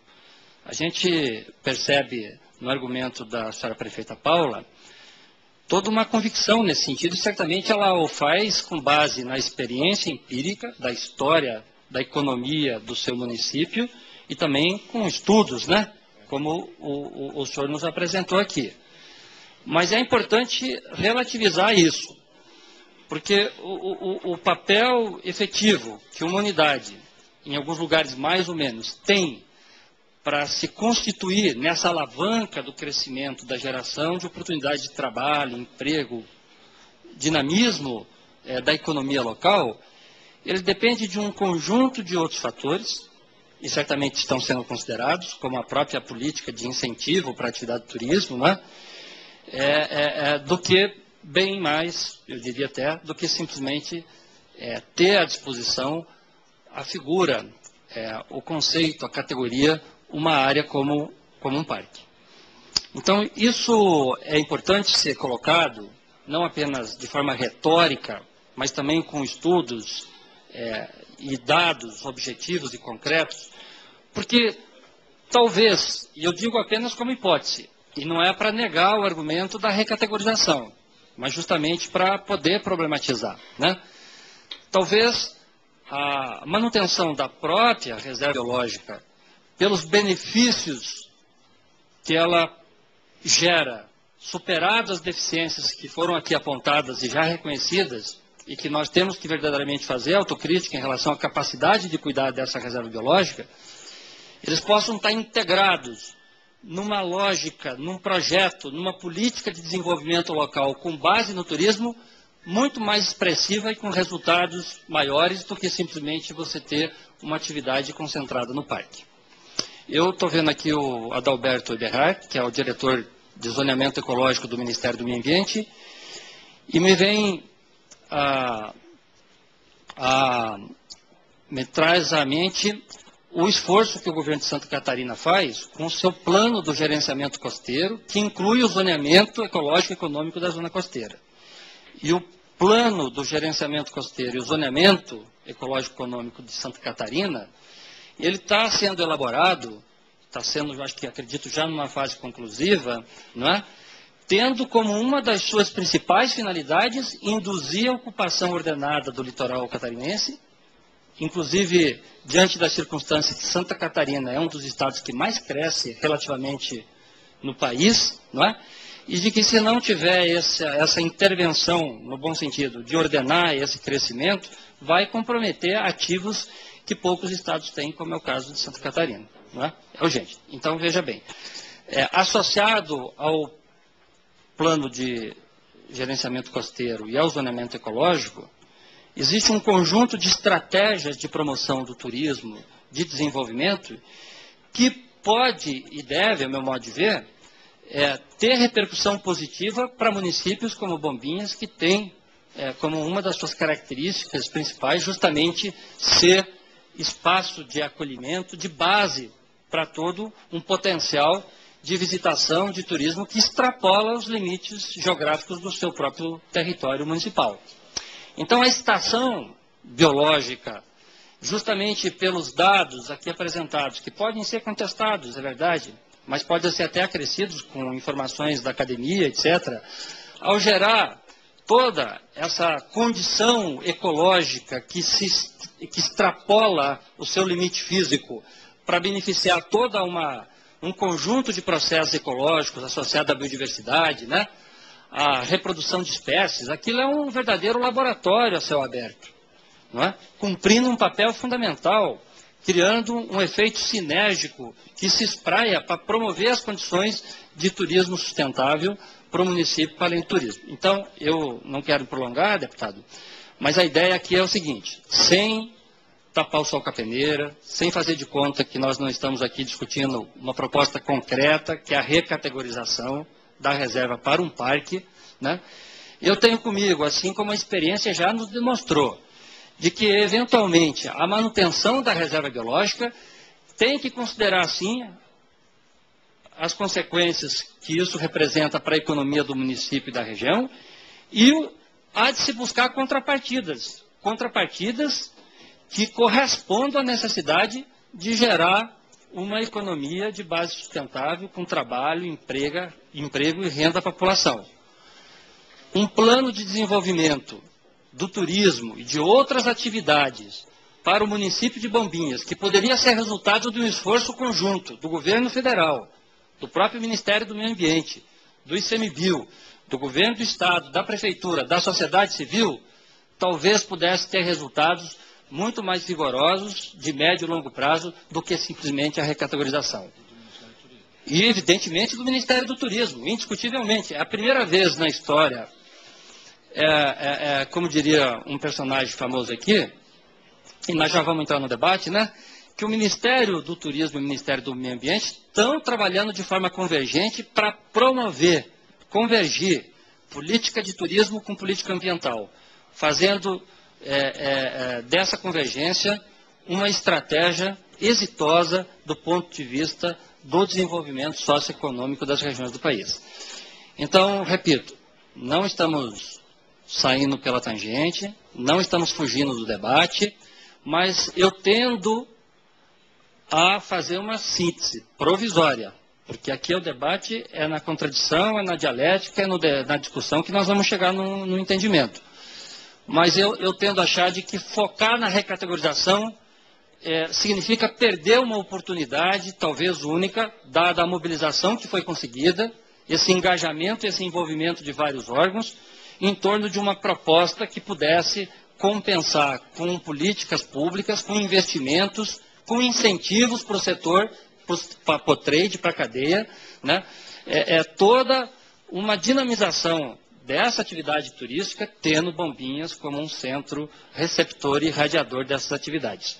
Então, acho que isso dá uma outra dimensão, coloca numa outra perspectiva e talvez possamos concluir que a questão fundamental não é nem tanto reserva, nem tanto parque, mas sim uma política, uma estratégia coordenada, integrada entre governo, setor público e privado, sociedade civil, em prol de Santa Catarina, do município e das unidades de conservação do seu Estado.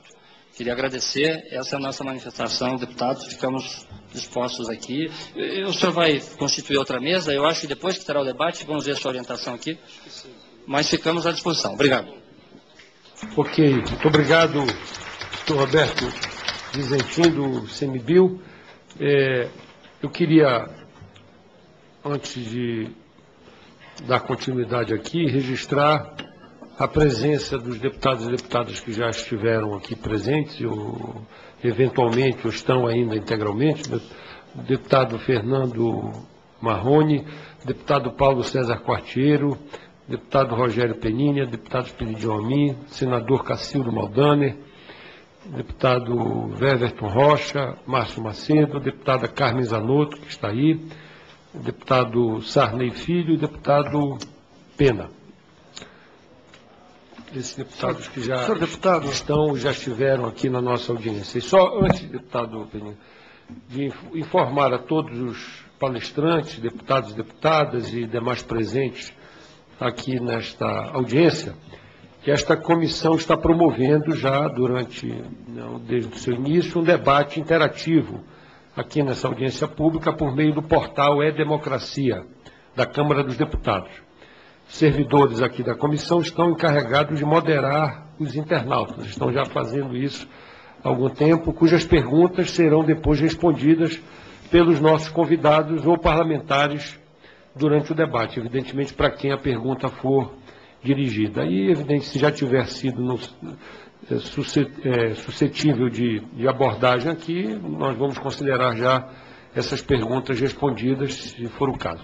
Pois não, deputado? Senhor deputado, na verdade, é, eu tenho já agora às quatro e meia uma audiência com o ministro da Integração Nacional, com diversos prefeitos da região que estão aí na marcha dos prefeitos, e eu teria uma, uma colocação, até como autor do projeto, junto com o Esperdeu a mim, a minha colocação é simplesmente cinco minutos. Se me permitisse, até para mim poder ir lá, é, de repente eu vou e eu não consigo chegar a tempo. E eu gostaria muito de fazer essas minhas colocações, se o deputado permitisse. Pois não, deputado, vamos quebrar aqui o nosso Pode ser. protocolo. É que realmente esse atraso e... que acabou realmente Exatamente. não foi por sua culpa, nós vamos, sabe. É, nós vamos então lhe conceder os cinco minutos e depois nós reconstituímos a nossa, a nossa mesa. Pois não. Está bom, senhor deputado Jordi. Na verdade, sem cumprimentos, sem saudações, para mais rapidamente fazermos as nossas colocações. Santa Catarina, na verdade, tem o privilégio de ser um dos mais bonitos litorais de todo o mundo, para não dizer do Brasil. Para o litoral de Santa Catarina, afluem milhares, para não dizer milhões de turistas do Brasil e do mundo, todos os anos. E do nosso litoral catarinense, a joia da coroa é a Costa Esmeralda, constituída pelos municípios de Itapema, Porto Belo, governador Celso Ramos e Bombinhas. E de toda a Costa da Esmeralda, eu também não tenho dúvida alguma em afirmar que um dos lugares mais bonitos, as praias mais bonitas, estão exatamente no município de Bombinhas. Lá também estão os melhores lugares do Brasil para a prática do mergulho ecológico. E é por isso também que os moradores da região são os mais interessados de todos na preservação de toda aquela beleza, mas, ao mesmo tempo, eles também querem que ela seja fonte de renda. Também por isso, a própria comunidade, aqui foi colocado pelo Sérgio, o André na época, se mobilizou na década de 80 solicitando a criação na região do Arvoredo de um parque marinho. Inclusive, também é importante que se diga e justiça seja feita, os maiores articuladores nesse sentido foram exatamente as escolas de mergulho. E isso, em parte, aconteceu, como foi dito, com o decreto 99.142, de 12 de março de 90, assinado pelo presidente Sarney, em um dos últimos atos do seu governo. Todos, na época, ficaram felizes, festejaram, pois o grande objetivo era defender não só a natureza da região, mas também a sua importância histórica e arqueológica. Poucos, também por outro lado é importante que se diga, sabiam a diferença entre reserva e parque. E o susto foi grande quando começaram a perceber as restrições da reserva então criada. O remédio acabou se tornando um verdadeiro veneno para toda a região. As ilhas de Arvoredo, Galé, Deserta e o Calhau de São Pedro, que a partir da década de 80 haviam se tornado um destino tradicional de mergulho recreativo e contemplativo, tiveram, de um momento para outro, praticamente encerrada esta atividade. E por que foi encerrada? Foi encerrada porque a reserva biológica consiste em uma categoria de unidade de conservação que tem como objetivo a preservação integral da biota e demais atributos naturais existentes em seus limites, sem a interferência humana direta ou modificações ambientais. Pela lei, é proibida a visitação pública nas reservas biológicas, exceto aquela com objetivo educacional e mesmo assim somente com autorização. Portanto, é uma unidade de preservação extremamente restritiva, ou seja, nós vivemos num estado, numa região, onde a principal fonte de renda é o turismo, e proibimos a visitação exatamente do melhor e mais belo local que nós talvez tenhamos em Santa Catarina. É um verdadeiro contrassenso e em qualquer lugar mais adiantado do mundo, na Europa, por exemplo, quem fizesse isso seria chamado de louco, de burro. Lá, em função de sua cultura milenar, preservar como ninguém, preservam como ninguém seu patrimônio histórico e ecológico, mas também permitem e estimulam que estes locais gerem renda. Seria o mesmo que impedir a visitação da Capela Sistina sob o argumento de que ela poderia ser danificada. O que nós queremos é continuar preservando nossa joia da coroa, mas com a sua transformação em parque. Num parque é permitida a visitação sem perder, no entanto, as características a qual antes era destinada. Nós temos o Parque Nacional Marinho de Abrolhos, temos o Parque Nacional Marinho de Fernando Noronha.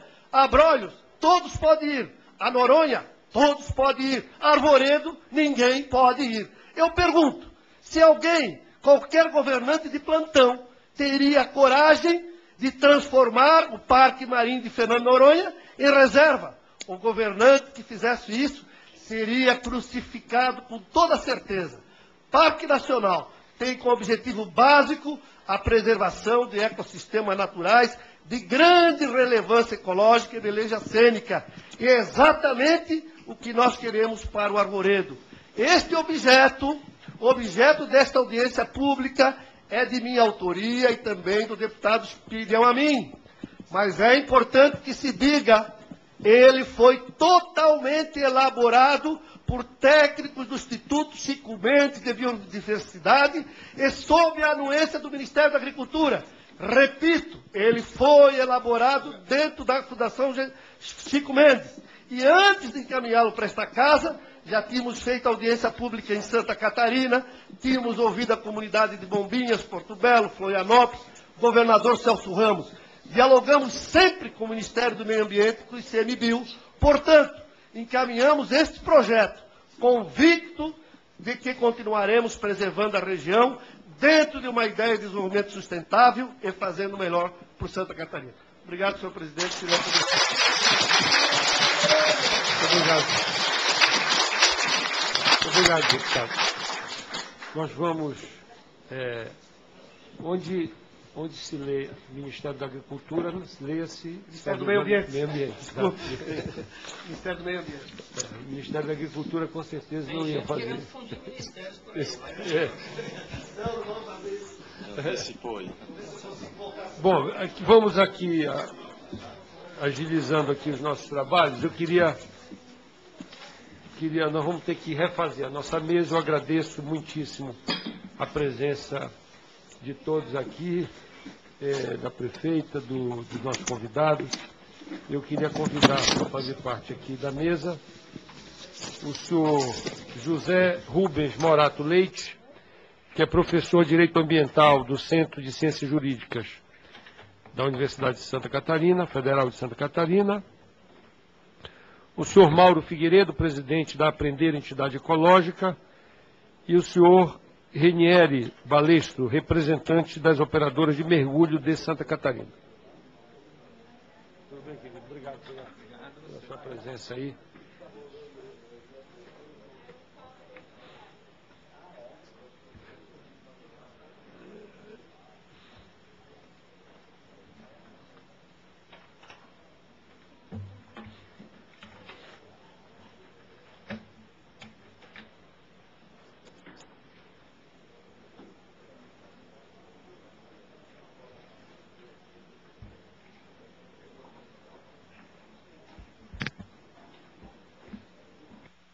Eu passo então a palavra ao senhor José Rubens, que é da Universidade Federal de Santa Catarina, para fazer as suas considerações por 15 minutos.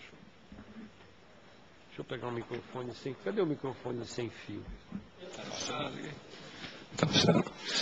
Bom, é. Tá ok. Muito obrigado. É, muito boa tarde, é um prazer estar aqui. Eu estou aqui representando a Universidade Federal de Santa Catarina.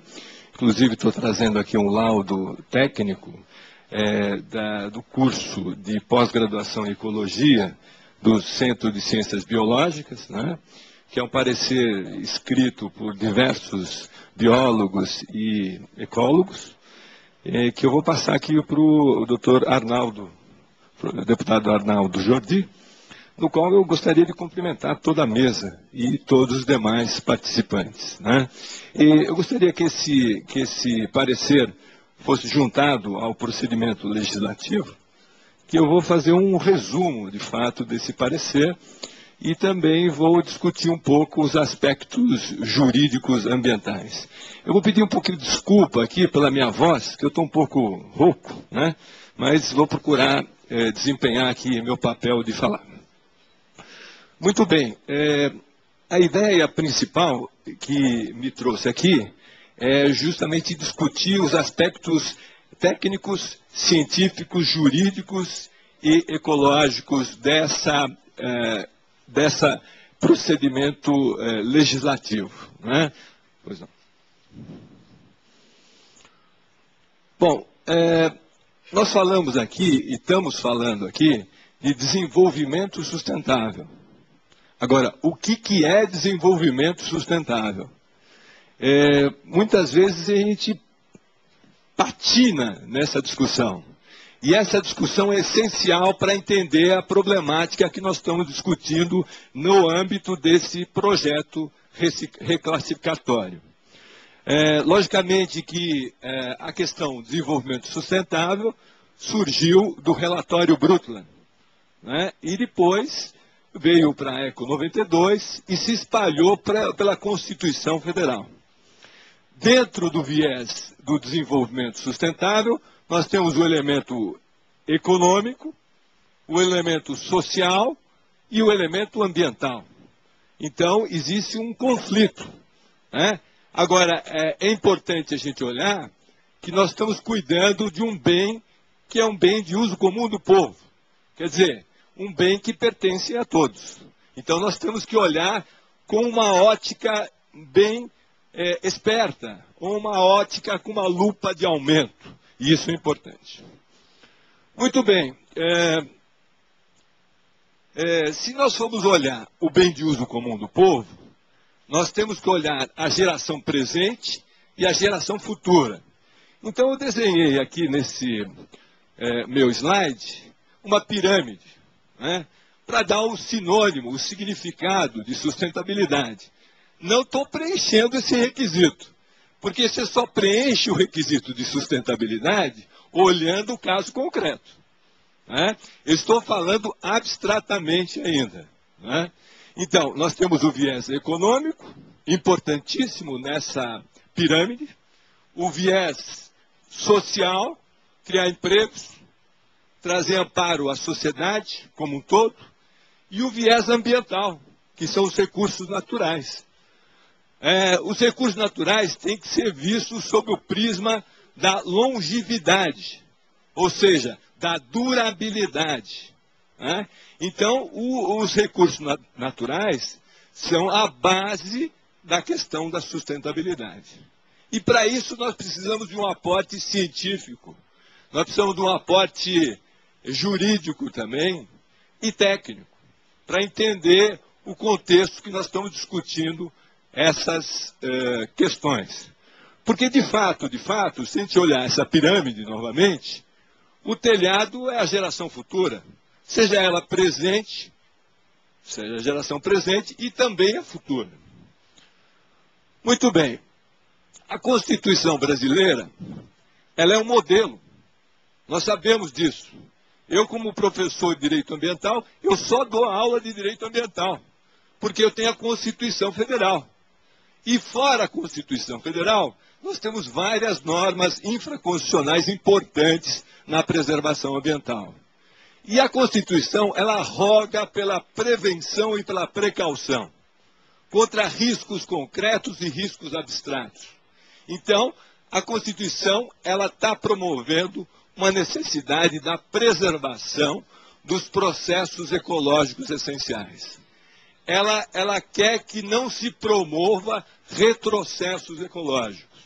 Logicamente que existem colisão de direitos. Né? O direito, o direito à, à, à economia, o direito ao desenvolvimento, colide com o direito à preservação dos recursos naturais. Mas a nossa Constituição ela é prolixa no sentido de trazer um viés preventivo e precaucional. E ela assim o faz ao exigir o estudo de impacto ambiental. É o que também falta no nosso procedimento legislativo. Né? O viés científico. E o viés científico, ele viria com o estudo de impacto ambiental. A Constituição também, no que diz respeito especificamente as áreas protegidas, ela quer que não se diminua a proteção. Vamos dar uma olhada no próximo slide.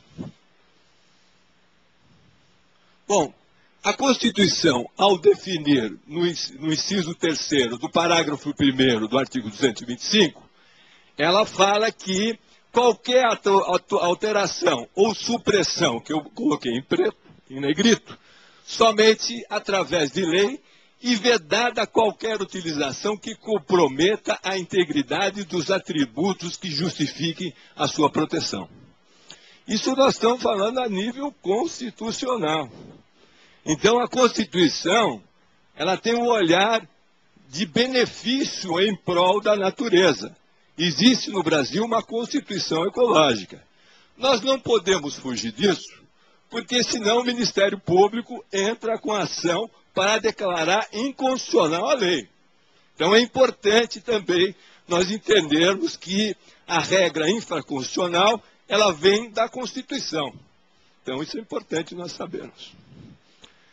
É, existe uma necessidade premente, como falou o presidente do ICMBio, da consulta pública. Nós não tivemos consulta pública detalhada nesse processo ainda. Falta um pouco mais de consulta pública. Muito bem. O artigo 22 da Lei 9985 de 2000, é, ela fala que obrigatoriamente, obrigatoriamente, existe necessidade da consulta pública. Né? E olha, vejam vocês, a criação de uma unidade de conservação deve ser procedida de estudos técnicos. Eu estou apresentando outros estudos técnicos aqui, que é da Universidade Federal de Santa Catarina. E também a consulta pública. Já houve algum, alguma audiência? Algumas. Mas não suficiente para ser uma consulta mais popular. Muito bem, vamos olhando aqui. A consulta pública, segundo o parágrafo 3 ela vai ser um processo que obriga a fornecer informações adequadas e inteligíveis à população local, não é só bombinhas. Não é só bombinhas. E outras partes interessadas. Bom, é, o parágrafo terceiro, por sua vez, exclui a necessidade de é, audiência pública na criação da estação ecológica e reserva biológica. Mas o processo em si, ele quer a transformação num parque nacional. Então, há necessidade da consulta pública.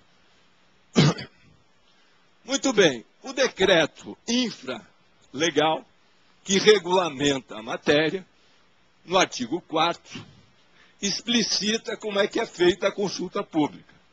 Compete ao órgão público proponente executor é, da nova unidade elaborar, elaborar estudos técnicos preliminares e realizar, quando for o caso, e no caso é verdade, consulta pública e demais procedimentos administrativos. A consulta para a criação de um parque, de uma unidade, tem a finalidade de subsidiar a definição, a dimensão e os limites da unidade. A consulta consiste em reuniões públicas ou critérios do órgão público competente e outras formas de oitiva popular de, de formas participativas. A consulta é, pelo órgão executor deve indicar de modo claro e numa linguagem, linguagem acessível as implicações para a população residente no interior e no entorno da unidade de conservação. Bom, é, o que temos aí é uma necessidade de uma consulta pública maior, mais ampla, mais geral, mais universal, mais plural. Muito bem, agora eu vou me dedicar aos aspectos técnicos, que foi passado pelo parecer é, da Biologia da Universidade Federal de Santa Catarina. Nós temos também a Convenção da Biodiversidade. A Convenção da Biodiversidade, é, é, no seu objetivo 11, propõe que se tenha pelo menos 10% de áreas marinhas protegidas de forma integral. O Brasil se comprometeu. E o Brasil faz parte porque ratificou a Convenção de Biodiversidade. Então faz parte do bloco de convenções brasileiros dentro do sistema normativo brasileiro. Bom, até agora, o Sérgio já nos informou é, que nós temos apenas 0,14% de áreas protegidas de forma integral. Então, nós não cumprimos o, o, o nosso, a nossa meta. E o Brasil se comprometeu, até o ano de 2012, a ter 12 por 10% de áreas protegidas integral.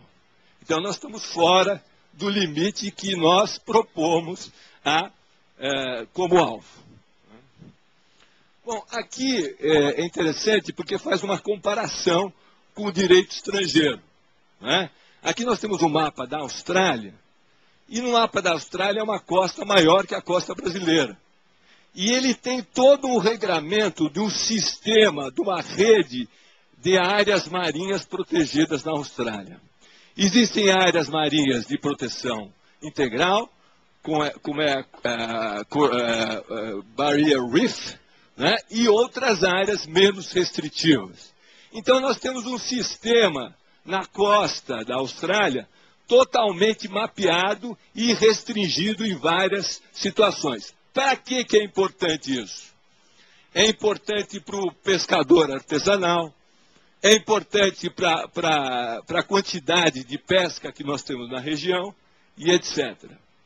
Bom, o Sérgio também nos falou, mas fica mais claro aqui, nessa outra lâmina, que é, do atol das Rocas até é, Bombinhas, na região de Bombinhas, nós só temos duas unidades de proteção integral. Quer dizer, reserva biológica no Brasil, de proteção integral, é só o Atol das Rocas e Arvoredo, Reserva Biológica do Arvoredo, dista uma da outra 4 mil quilômetros. Qual é a rede brasileira que nós temos de proteção ao estoque de pesca e uma proteção marinha específica? Qual é o planejamento que nós temos nesse sentido? Quase nenhum. Muito bem, aqui nós já falamos, isso aqui nem vou passar, que é justamente, é, existe uma parte em que é permitido o mergulho e que não está sob a égide da, zona de amortecimento. E nós já, já foi explicado isso para nós. E aqui vê-se bem nesse outro mapa, onde que fica a zona de amortecimento. Não é? Então, existe uma área que é excluída da zona de amortecimento, e isso já foi dito pelo Sérgio e pelos outros que falaram anteriormente. Um outro fato importante cientificamente, isso nós temos que ver.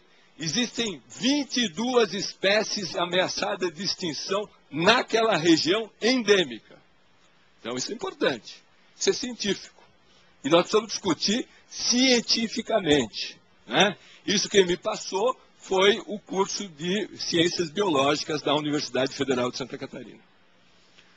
Existem é, dois tipos de corais únicos na, no Oceano Atlântico, que estão endêmicos naquela região. E, logicamente, que, junto com o coral, tem todo um entorno de biodiversidade marinha. Aqui o que nós vemos é que o potencial de biomassa ou de transbordamento dentro da reserva biológica de Arvoredo. Olha aqui, na cinza. Em preto, nós temos fora da reserva. E aqui em locais mais distantes. Então, vê-se que o potencial de transbordamento, que é justamente para servir para o pescador artesanal, porque ele serve para manter a qualidade da pesca e a quantidade. E aqui eh, nós falamos muito de Fernando Noronha. Né? E aqui vamos comparar Fernando Noronha com o atol das rocas. E aqui nós estamos falando de abundância à esquerda. Aqui nós temos o atol das rocas. E aqui à direita, Fernando Noronha. Diminui muito a abundância de peixes e de fauna aquática. Da mesma forma, a questão da biomassa, que é o peso que é verificado pelos pesquisadores relativo a determinadas espécies endêmicas. Aqui nós temos o atol das rocas, quantidade muito maior, em Fernando Noronha, muito menor, que é um parque marinho. Bom, eu, eu vou quase terminando por aqui. Só mostro para vocês essa foto. É importante essa foto. O que nós precisamos é vontade política. Nós temos que ter uma administração que funcione. Isso é importante. Aqui nós temos a Ilha do Campeche, no verão. A Ilha do Campeche fica a 3 quilômetros de Florianópolis, que é uma área tombada, um patrimônio cultural, em que não há controle qualquer. Chega no verão, eu já fui no verão. É a hora que você a, chega no verão, você tem milhares de pessoas num local que não é possível. Né? Então, administração é importante. Então está faltando a questão administrativa. Muito bem, termino a minha fala, eu acho que ainda estou terminando no último tempo, para falar que falta no meu, na minha exposição referência a um estudo de impacto ambiental, a um parecer mais bem elaborado, uma vontade política do poder público em questão da administração das unidades de conservação e no aspecto jurídico, falta também a participação universal e plural. Era isso que eu tinha que falar.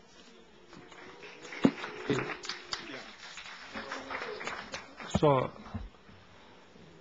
queria agradecer ao senhor Zé Rubens, que é professor de Direito Ambiental da Universidade de Santa Catarina, e pedir aos nossos convidados que nós possamos tratar a todos os convidados aqui, independente do mérito das opiniões que podem e necessariamente são divergentes, e essa audiência pública é exatamente para isso, para colidir posições que evidentemente são é, diferenciadas. Se nós tivéssemos aqui todos um único ponto de vista, nós não estaríamos aqui, com certeza, fazendo essa reunião. Se a nossa intolerância com a opinião adversa for nesse nível dos apupos e das vaias, nós vamos ter que, infelizmente, encerrar o nosso debate, porque nós não podemos é, permitir isso com quem quer que seja aqui esse tipo. São debates de alto nível, reputo desta natureza, com especialistas e pessoas absolutamente legitimamente representadas e interessadas, cada um ao seu, ao seu olhar e ao seu ponto de vista, portanto, a gente pede que todos aqui sejam democraticamente respeitados nas suas opiniões. Eu agradeço ao senhor Zé Rubens e passo a palavra ao senhor Mauro Figueiredo, presidente da Aprender, entidade ecológica.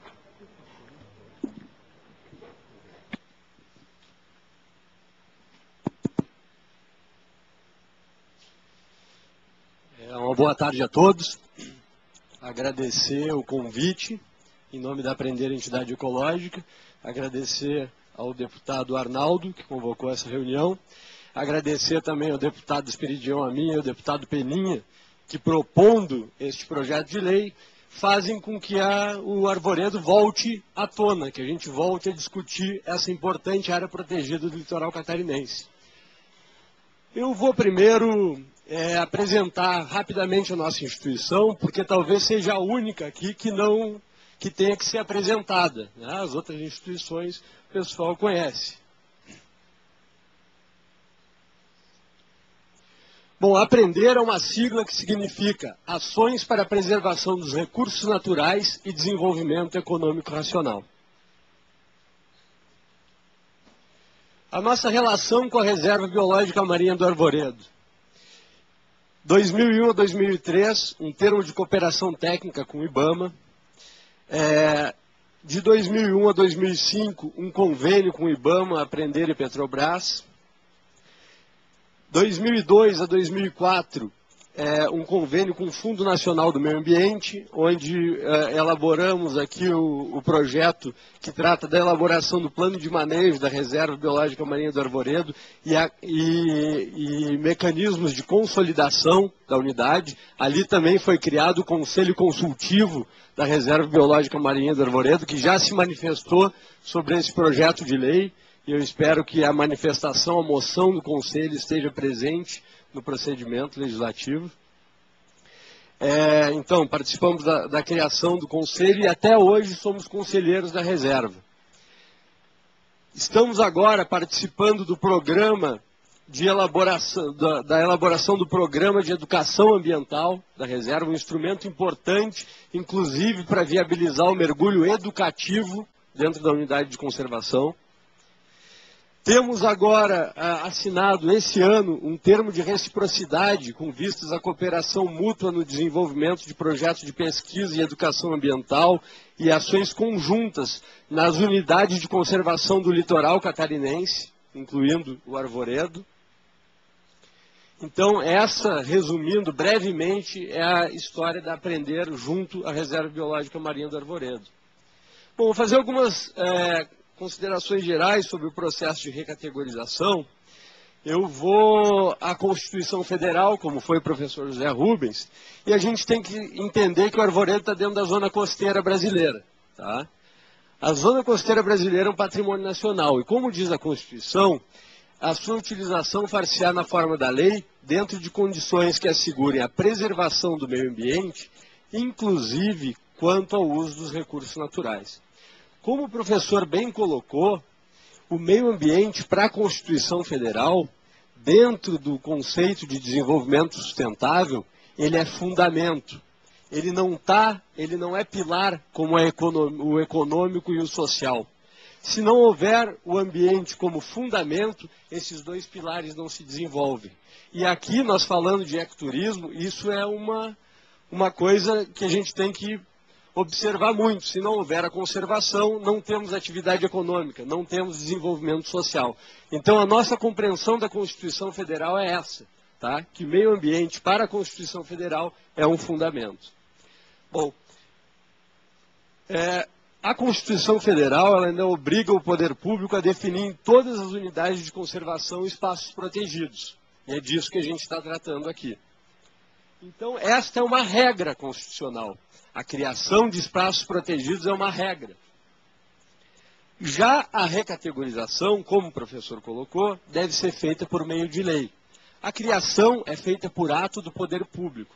Está havendo um atentado à Constituição aqui neste Congresso, com a PEC 215, tentando passar para o Legislativo essa prerrogativa. Tá? Mas é um ato do poder público hoje, então, portanto, pode ser criado por decreto. Trata-se, então, a recategorização de uma exceção, por isso ela deve ser feita com lei.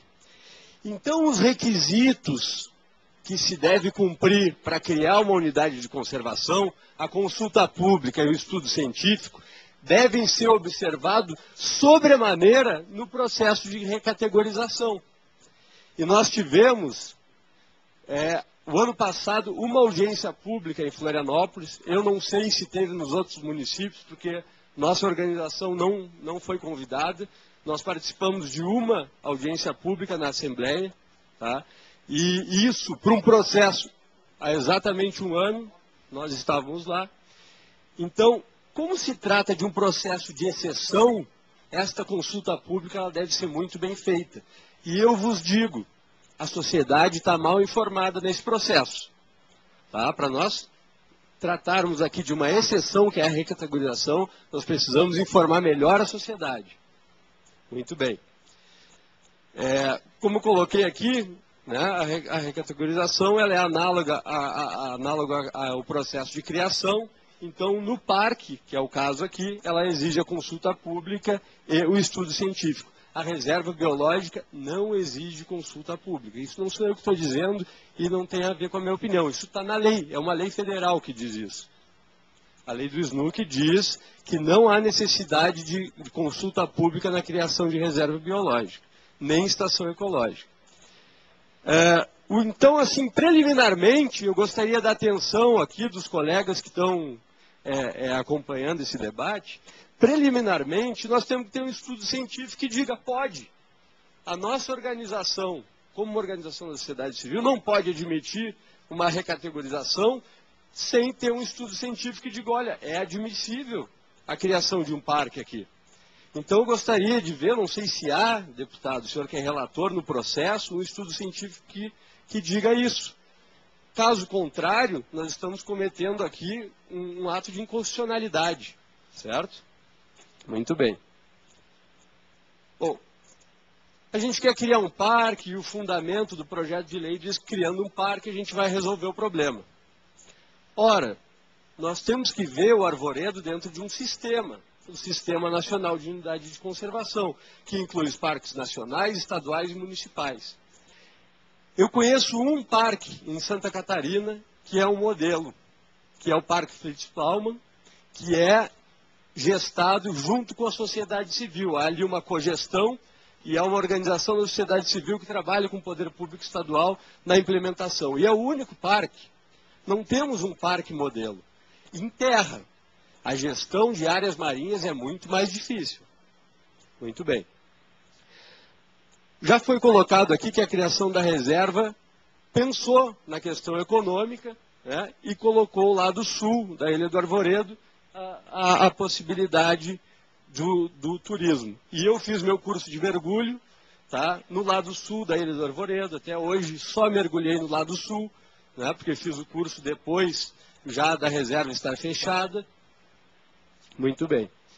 A reserva é o único local está mal escrito ali, onde o turismo não é permitido no mar catarinense. E vejam que onde é permitido, ele hoje está impedido de ser feito, no caso de, de unidade de conservação, por, por má gestão do poder público. Né? A APA da Baleia Franca, onde há observação de baleias hoje, uh, está com uma liminar contra o Instituto Chico Mendes. Por quê? Porque demanda mais estudos e, e hoje, é, agora estamos lá em época de observação de baleias e nós, da nossa organização, somos a favor do ecoturismo. Tá? Nós somos a favor do desenvolvimento racional, mas tem que ter gestão, tem que ter vontade política para que isso seja feito. Vejam que o plano de manejo da reserva de 2004. Qual foi a autoridade que buscou alguma reunião para implementarmos o que está planejado lá? Né? Então, é uma cobrança que a gente faz a todos os níveis é, de, de gestão, desde o município até o governo federal. O debate nós vamos fazer depois. Né? É, em, bom, o mergulho foi contemplado no plano de manejo da unidade, certo? É, a reserva biológica permite estudo científico, edu, é, pesquisa científica e educação ambiental. As operadoras são parceiras hoje das universidades para o mergulho científico e vão ganhar com isso e já devem ganhar com isso. Hoje, é, eu coloquei ali antes, não li, há um projeto de 4 milhões de reais para monitorar o arvoredo, que a Petrobras está financiando. E a Universidade Federal vai precisar de barco, de operadores de mergulho, que leve eles lá para mergulhar. Então, isso também, o turismo científico, gera renda. Né? É, outra coisa, há no plano de manejo a possibilidade de levar pessoas que estão dentro de processo de educação ambiental para mergulhar no arvoredo. Tem muita gente dentro do órgão gestor que é contra, mas o IBAMA na época aprovou isso e suponho que uma portaria do IBAMA aprovando um, um plano de manejo tenha passado pelo jurídico. Então, nossa organização é parceira dos mergulhadores para que viabilizemos o, o, o, mergulho como ferramenta de educação ambiental, porque o mergulho, por si só, ele já é educação ambiental. Né? A pessoa que mergulha, ela sai sensibilizada. Muito bem. É, temos que prestar muita atenção no desenvolvimento do setor náutico na região de entorno, porque pode pressionar a unidade de conservação. Sim. Tá? É, em toda essa região aqui, há um desenvolvimento do litoral e várias marinas estão sendo criadas. A hora que você cria um parque, a pressão para flexibilizar as normas do parque e as pessoas que têm recurso financeiro irem lá com seu iate, com a sua lancha, vai ser muito mais fácil. Então nós temos que ter essa ideia. E eu chamo todos que estão aqui a colaborar com a gestão do arvoredo. Se querem conservação, vão participar, há espaços de participação para a sociedade, certo? Muito bem. Só voltar aqui. Isso aqui é... Rapidinho. Está aí.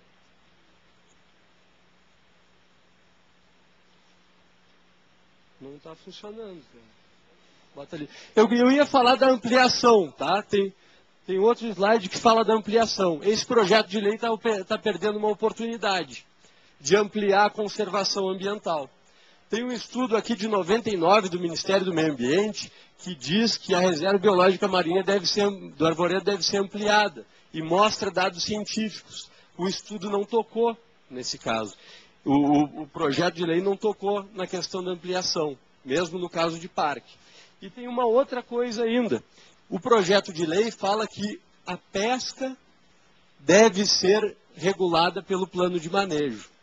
Ora, nós temos aqui uma zona de normatização de pesca e turismo dentro da zona de amortecimento. Aqui está o núcleo da reserva, parte sul fora, para turismo, Aqui tem uma zona de normatização de pesca e turismo. Essa zona é exclusiva para pescadores artesanais.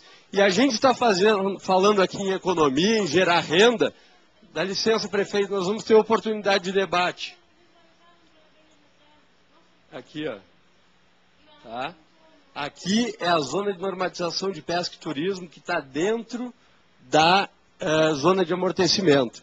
Os pescadores, que são uma atividade econômica muito mais é, presente do que o mergulho, eles estão demandando uma área de proteção ambiental aqui. Ora, eles querem pescar dentro da reserva e é legítima a demanda tanto quanto dos mergulhadores. E por que, que isso não está sendo discutido? Né?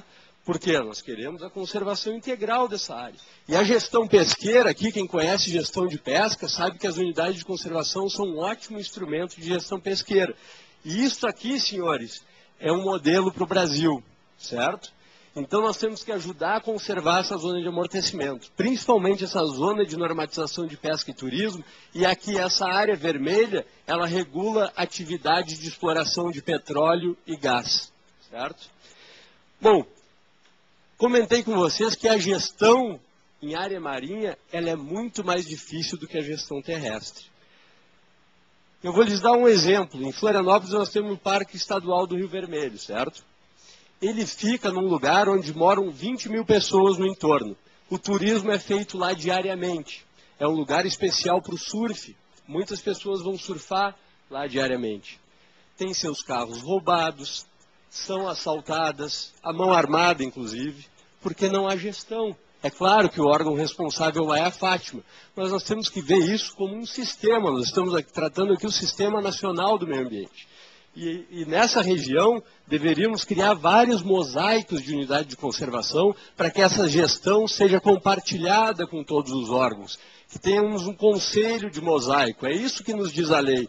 Nós todos aqui temos que nos juntarmos para implementarmos o Sistema Nacional de Unidade de Conservação. E não é com a recategorização que nós vamos fazer isso. Então eu trago para a reflexão dos senhores aqui a foto do Parque Estadual do Rio Vermelho, que é em terra, tem 20 mil pessoas ao redor, a Polícia Ambiental fica do outro lado da rua, tá? e nós temos corpos enterrados lá, e nós temos carros assim, ó, deixados dentro de um parque. Então, senhores, não é com uma canetada, transformando a reserva em parque, que nós vamos resolver o problema. É preciso que todos, inclusive conversei com a prefeita de Bombinhas para assumir uma cadeira dentro do conselho da unidade de conservação, que é o único município de entorno que não está no conselho, para que nós possamos juntos implementar essa unidade de conservação. Com isso, a nossa eh, organização, então, neste momento, a não ser que tenha um estudo científico que nos mostre que vai haver ganho ambiental, nós estamos contra esse procedimento. Certo? Muito obrigado pela atenção dos senhores. Obrigado, doutor Mauro Figueiredo. E eu queria passar a palavra agora ao senhor Ranieri Balestro, que é representante das operadoras de mergulho de Santa Catarina. O deputado Spiridioshi já saiu. Tá, cadê a comissão? Tá, ok.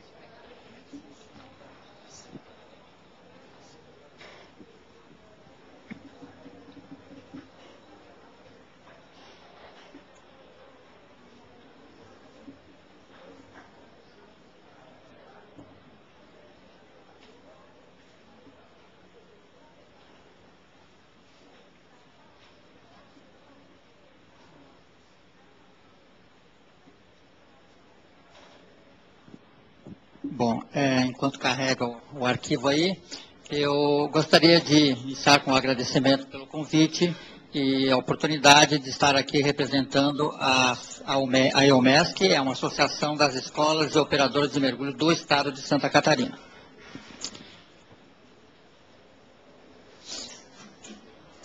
O meu nome, então, é René de Balestro e é, Vai haver alguns slides ali que a gente vai passar adiante para não ser tão repetitivo, porque muita coisa assim já foi abordada. A gente não tem uma noção de todas as apresentações antes, né? E muita coisa uh, vai ser repetitiva se a gente falar. Bom, uh, nós iniciamos esse movimento pró-parque marinho uh, já há, há, alguns anos, né? Mas mais recentemente durante um tempo, assim, parece que a situação ficou meio acomodada e nada, nada acontecia. A reserva não cumprindo o papel para qual ela foi, foi criada e a sociedade meio inativa. Então, é, nós da EUMESC, além de estarmos acompanhando todo o processo é, de reuniões, fazendo parte do conselho é, consultivo da, da nós ah, resolvemos a, a agir por outro lado falar com o trade turístico para conscientizar o trade turístico do que, que te, tinha acontecido há muitos anos atrás e o que, estaria acontecendo a nível de perda para um, uma grande quantidade é, de população da sociedade, mas não economicamente falando. Tá? Eu vou passar aqui para ter uma, uma certa noção de, Bom, já foi feita assim, uma apresentação da, da mas só dizendo que a maior parte dos integrantes da EUMESC, das escolas integrantes da EUMESC, tem mais de 20 anos de existência. Então, não tem ninguém assim novato na parada, amador na parada. Nós vivenciamos toda a fase, da, desde a introdução do mergulho em Santa Catarina e as, as outras transformações que a gente vai comentar.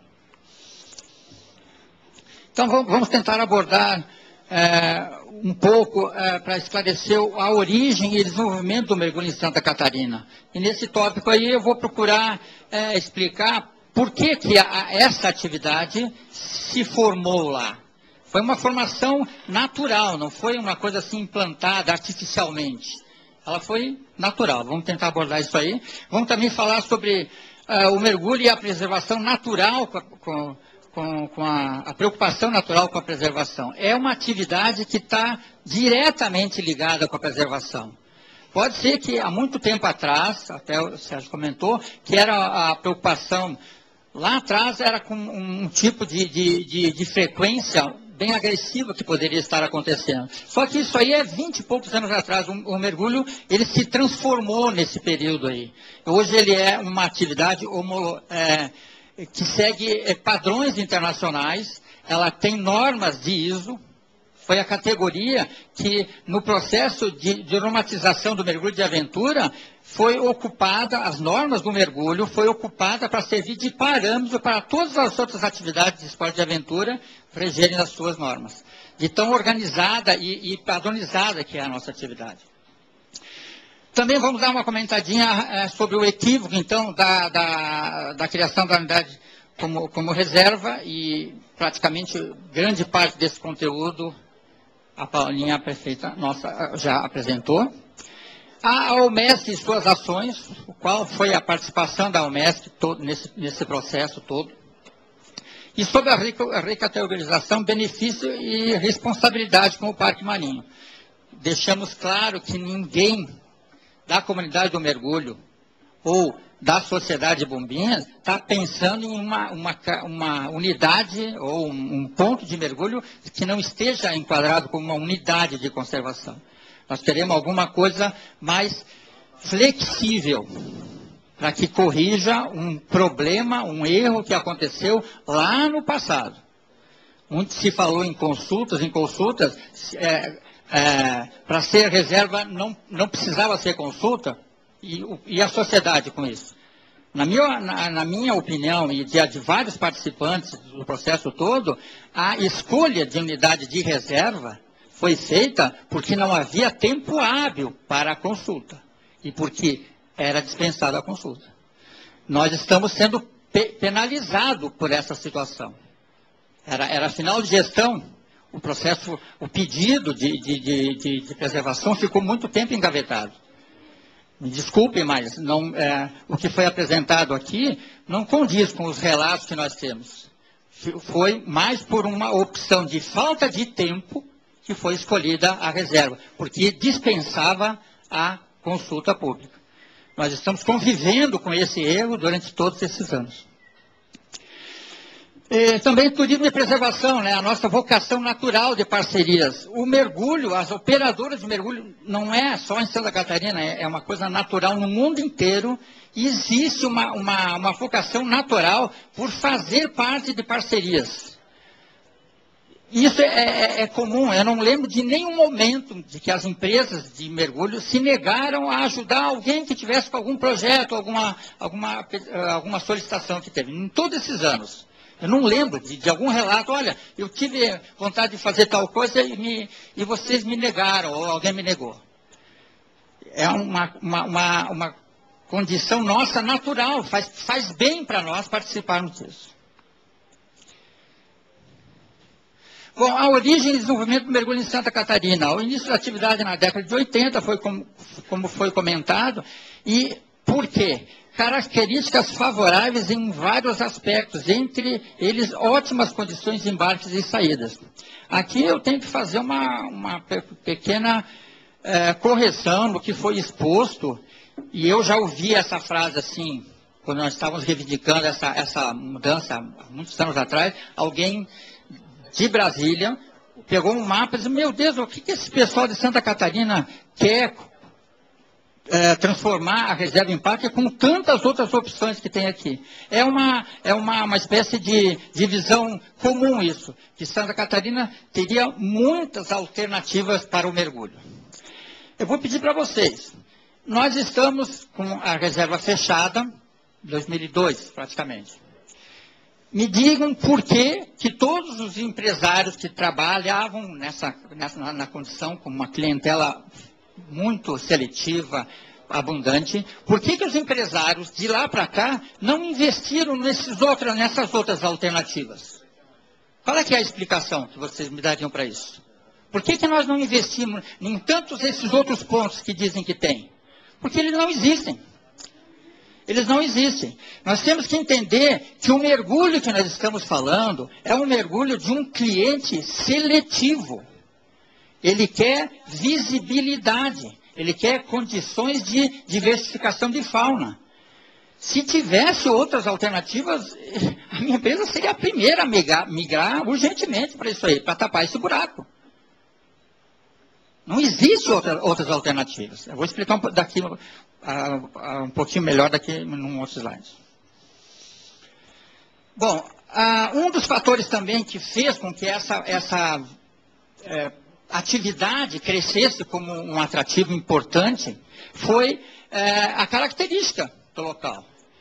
É, nós temos enseadas que não tem em muitos lugares, é, por exemplo, é, o Nordeste adoraria termos as nossas enseadas. Eles seriam o Caribe brasileiro. E eles não têm enseadas, não têm pontos de abrigo. A embarcação até pode sair de um ponto abrigado, mas pega mar aberto.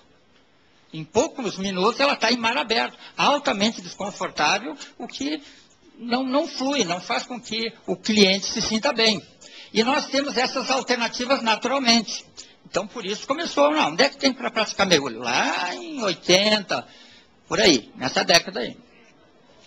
E o encontro das duas correntes, que também é muito mencionado, faz uma característica se tornar assim especial na nossa região.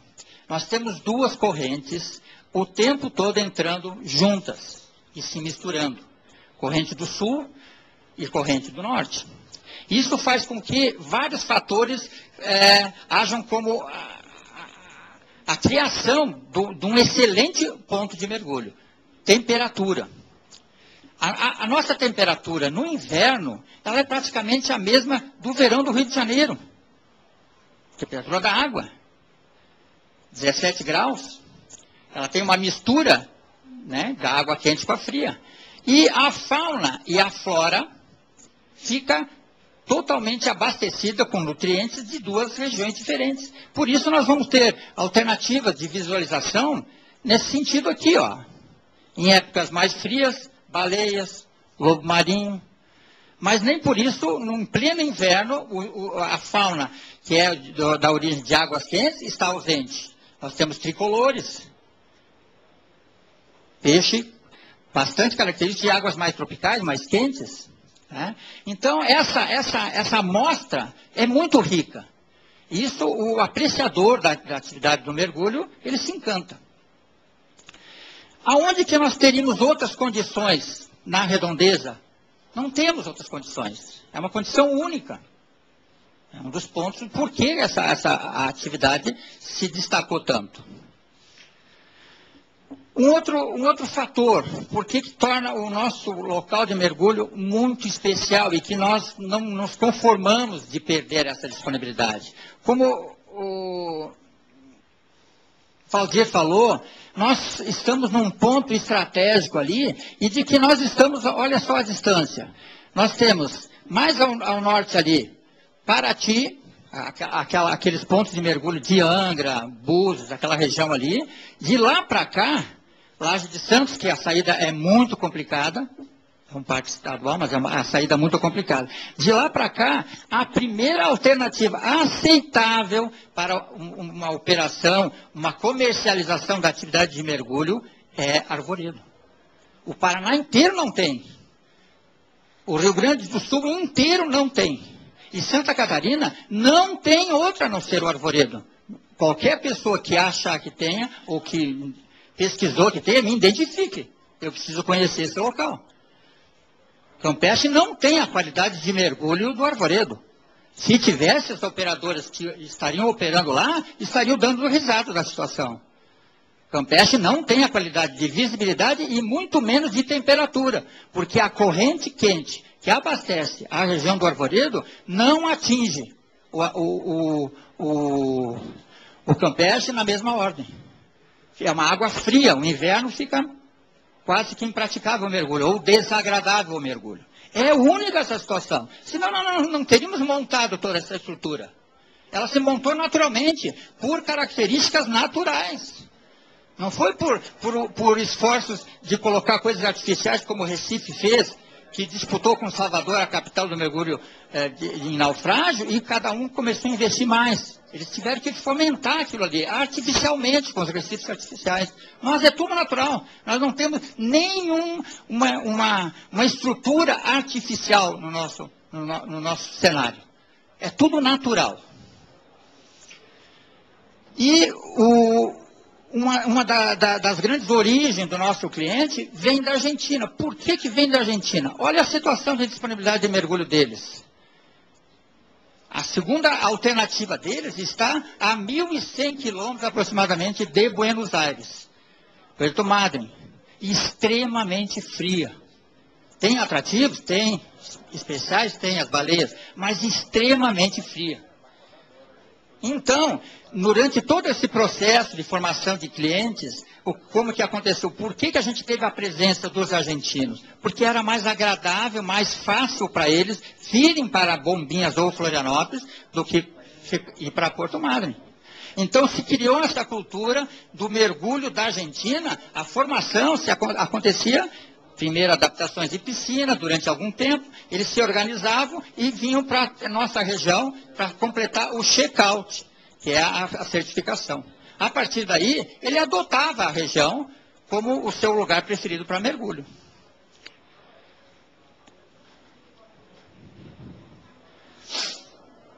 Então, nós temos uma situação de que esse é o ponto comum para Bombinhas e para Florianópolis. E para todas essa, essas regiões que a gente falou.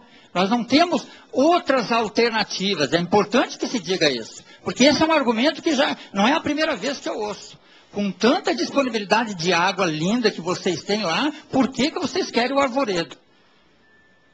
A, a, a situação se formou há vinte e poucos anos atrás, quando essas características únicas estão ali. Não temos outras alternativas. Não, se tivéssemos, eu volto a repetir, seria muito mais fácil nós mantermos uma, uma, uma, uma unidade de conservação fechada e exigirmos que ela fosse cuidada e ocuparmos a parte que nos restasse. A situação é diferente. Nós não temos outras alternativas e a unidade de conservação não está recebendo a atenção que merece em todos esses anos. Parece que todas essas intenções e esses projetos se realçam quando tem um movimento de audiência. Eu já ouvi várias vezes projetos saírem bem, bem, bem rapidinho quando tem audiência. Agora, a realidade que nós temos lá, nós frequentamos, nós passamos pela reserva todo, toda a santa saída de mergulho.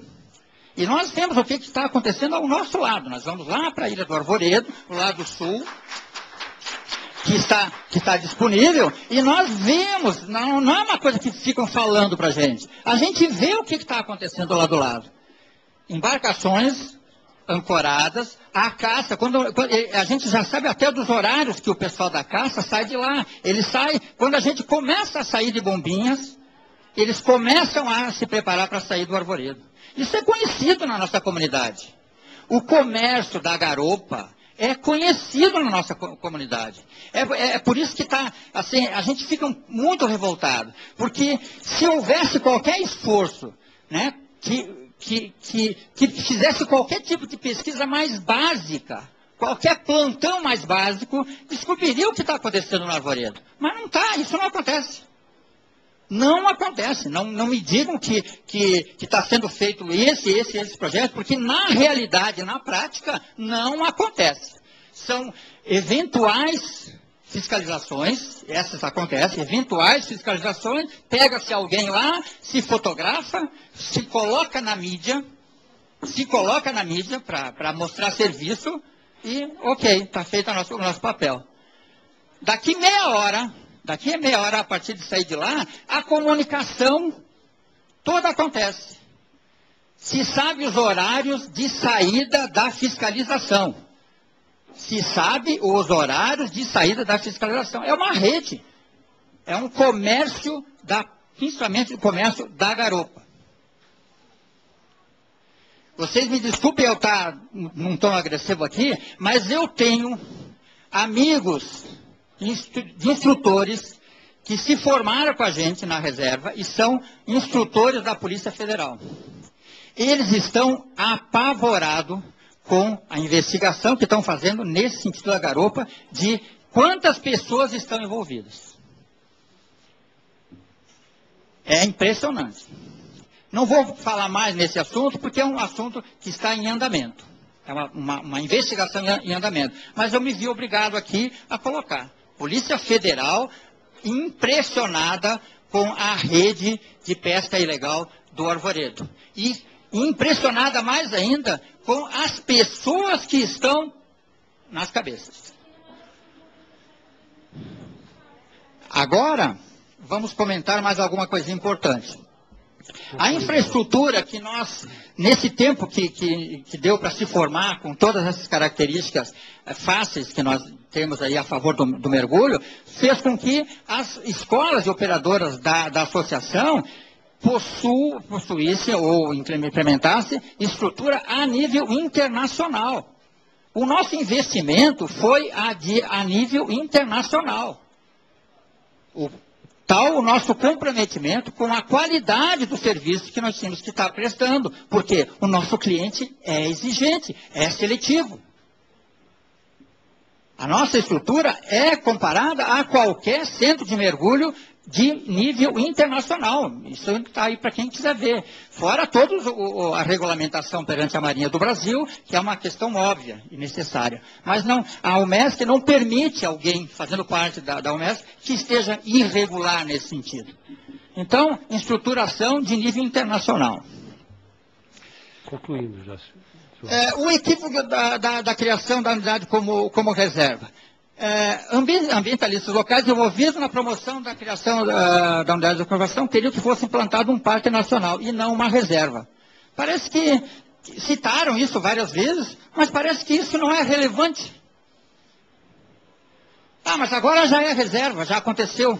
Gente, nós estamos sofrendo com esse erro há 22 anos, 23 anos.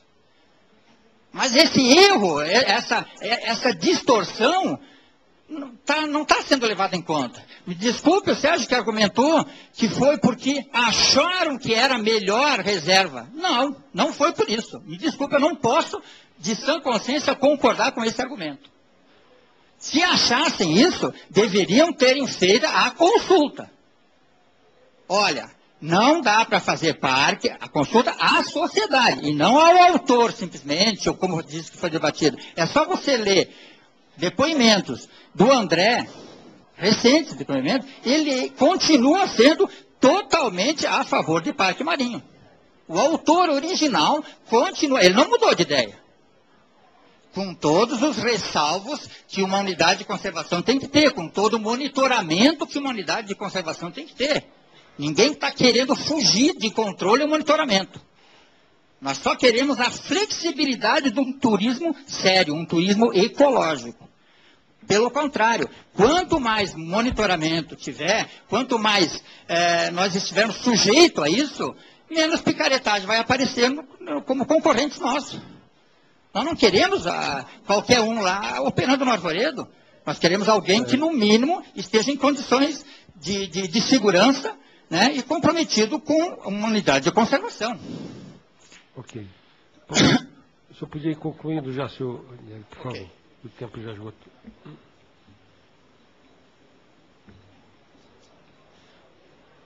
Olha só, eu podia estar falando bastante ainda sobre as, as, as, as atuações da UMESC. Mas o que, que nós estamos aqui nos comprometendo, para concluir, é de que nós, com a nossa estrutura que nós temos, nós estaremos sempre, como sempre estivemos, à disposição das parcerias de, de fiscalização, de monitoramento, o que quer que seja.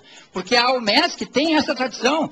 Eu acho que quem participou de conselhos tem essa, essa consciência de que o Júlio, o Renê, o Paulo Bertol, nós nunca se omitimos disso. Né? Eu acho que isso é uma, é uma, é uma realidade.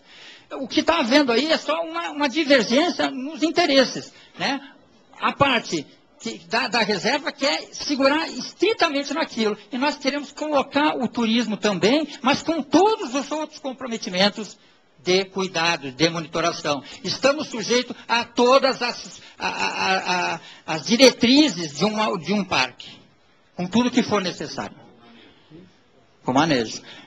Tá? Então, essa é a nossa posição e, e vamos nos colocar à disposição para continuar com os debates e colocando-se colocando à disposição de um, um, um, um auxílio a qualquer iniciativa que haja, tá? para a unidade de conservação. Mas o nosso pedido é para que seja parque. Okay. Por todas essas questões que foram abordadas. Muito obrigado. Muito obrigado. Bom, nós, nós estamos aqui com um problema de pouquíssimo tempo, porque esses auditórios estarão sendo, a partir das 17h30, portanto, daqui a 10 minutos, as reuniões das bancadas com os prefeitos que estão na marcha do prefeito. Eu fui comunicado aqui pelo, pela nossa assessoria aqui da comissão. Portanto, é, aqui nós só temos o deputado Esperidião Amin, que está inscrito, é, e eu indago se faculto a palavra ao deputado Esperidião Amin para fazer a consideração é, dirigida a um dos nossos expositores, considerando os que estão aqui e os que estão lá, tá certo? Só quero fazer um é. registro, e acho que posso fazer também em nome do deputado Peninho. Como autores do projeto, nós temos encontrado muitas vezes um entendimento de que o parque não é unidade de conservação. Isso não é verdade. Dizer, e esse entendimento vem sendo disseminado em todas as pregações, vamos chamar, restricionistas. E acho que o, o Renieri resumiu bem. O parque não elide, não elimina a necessidade de um plano de manejo e de regras. Regras que, infelizmente, não são cumpridas nem em relação à legislação ambiental, muitas vezes, pura e ordinariamente, nem em reserva, nem em parque.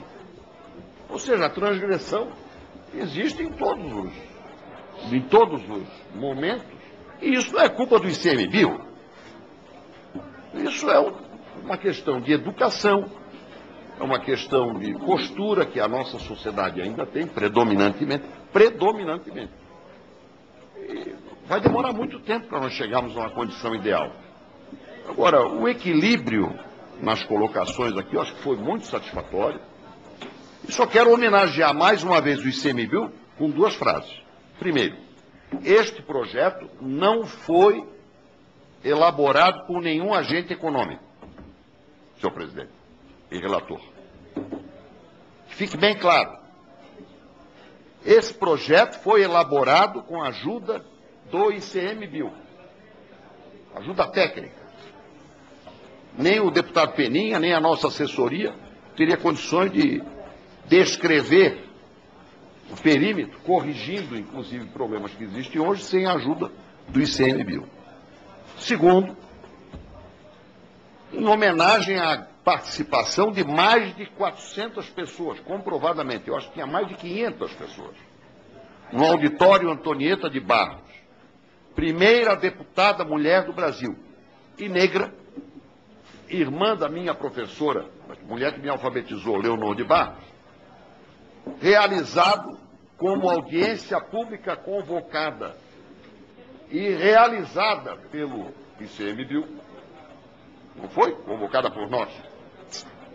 Convocada e, e realizada pelo ICMBio exatamente há um ano, dia 9 de julho de 2012. Eu queria dizer que este requisito da liturgia da recategorização foi cumprido. Além disso, eu mesmo participei de debates na universidade, onde eu sou professor também.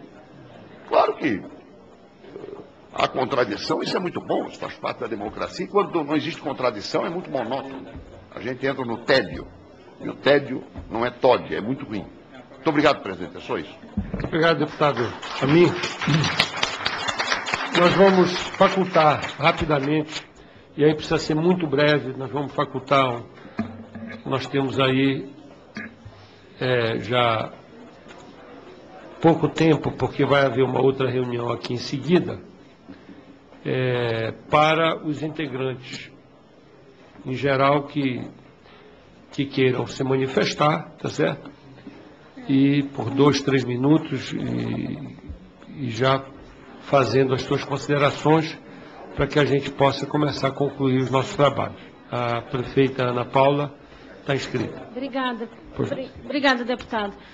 Eu quero procurar ser o mais objetiva e breve possível. Primeiramente, eu quero pedir perdão, às vezes, pelo meu jeito impetuoso de ser, porque isso é da minha natureza. Eu sou uma baixinha esquentada e carrego comigo, nesse presente momento, uma grande responsabilidade de traduzir para essa Casa de Leis o sentimento majoritário de, de, não só de 17 mil pessoas, deputados, que estão sofrendo há mais de 20 anos com um retardo letal da impossibilidade de aplicabilidade de proteção da nossa reserva. E eu não posso falhar nessa missão que me trouxe até aqui, junto com os nossos representantes. Eu quero rapidamente é, de, deixar claro aqui que todos os nossos argumentos eles estão balizados na lei do SNUC. Eu não vou fazer leitura textual, mas a Lei 9.1985, de 18 de julho de 2000, professor Zé Rubens, ela está absolutamente pontuando aqui é, as razões. Um dos, um dos pontos, por exemplo, que está aqui escrito no SNUC, prote, proteger os recursos naturais necessários à subsistência das populações tradicionais, que é o nosso caso, respeitando e valorizando o seu conhecimento e a sua cultura e promovendo-a social e economicamente. É responsabilidade da lei ambiental também nos incluir nesse processo. Então aí a gente pode citar o artigo 4 o artigo 5 nos seus diversos incisos, e quero esclarecer que eu acho que a sua equipe técnica falhou num determinado ponto. Quando o senhor fala da questão de grupos de unidade de proteção integral, que é compromisso do Brasil aderir a 10%, eu quero lhe esclarecer que no artigo 8 da Lei 9.985, inclui também Parque Nacional como uma, da, uma das, uma das é, possibilidades de grupo de unidade de proteção integral. Nós temos dois tipos de unidades de conservação, os grupos de unidade de proteção integral e, o, no artigo 14, o grupo de unidades de uso sustentável. Ou seja, transformar a reserva em parque não muda nada ao nosso status frente ao compromisso internacional. Quero falar que nós também temos estudos técnicos, sim, que permitem a inclusão desse projeto de lei nessa casa, porque nós temos em mãos, por exemplo, uma nota técnica do Ministério do Meio Ambiente, do ICMBio, nota técnica número 604 de 2011, que é justamente um instrumento técnico norteador, que diz aqui, é o que está escrito nessa nota técnica, nesse parecer técnico, que sim, a, o Parque Nacional é uma alternativa viável para a reserva do Arvoredo. Então, eu, eu acho que nós não temos por que conflitar, porque nós não temos, não, não estamos dispostos a abdicar dos nossos direitos. Sinceramente, eu quero dizer para concluir que não, nós não temos como deixar de dizer que canetada foi o que foi feito para a criação da reserva, não o que está sendo feito agora. Teve processo de consulta pública, só eu participei de mais de 10 audiências públicas para discutir esse assunto algumas não oficiais e duas, com certeza, convocadas pelo Ministério. Então, eu, eu, eu só não quero, professor, para encerrar mesmo, assim, pensar que haja qualquer outro tipo de interesse econômico que seja educacional que, que faça com que haja uma resistência desnecessária para a mudança de recategorização hoje, que, é o, que nós não podemos mais fazer isso. Não podem um ou dois ou três institutos é, deixar de enxergar o que está acontecendo com toda uma comunidade. Era, era esse o meu desabafo final, meu pedido sincero de desculpas por qualquer excesso que tenha cometido. Obrigada. Claro, muito obrigado, prefeito, pelas suas considerações. Vou passar a palavra ao Mauro Figueiredo. Pergunto se mais alguém gostaria, professor. Pois não, Mauro. Uhum, pede. Ó. Finalizar mais uma vez agradecendo, em nome da Aprender Identidade Ecológica, o, o convite para participar dessa audiência pública, prestar uma homenagem aos servidores do ICMBio que estão lá fazendo a gestão da reserva, encarando várias dificuldades para que ela seja implementada, aos membros do Conselho Consultivo, que estão lá também se reunindo, dedicando o seu tempo para que a unidade seja implementada e convocar aqui não só os deputados, a prefeita e todas as autoridades de Santa Catarina para que nós olhemos não só para o Arvoredo, mas todo o sistema de parques do Estado, porque ele, eles podem gerar sim emprego e renda para a comunidade e a gente tem que implementar essas unidades de conservação. Eu gostaria de ver muito, uh, gostaria muito de ver uma iniciativa parlamentar para a criação de unidades de conservação e também para a implementação das já existentes. Muito obrigado. Obrigado, Mr. Mauro. Doutor José Rubens.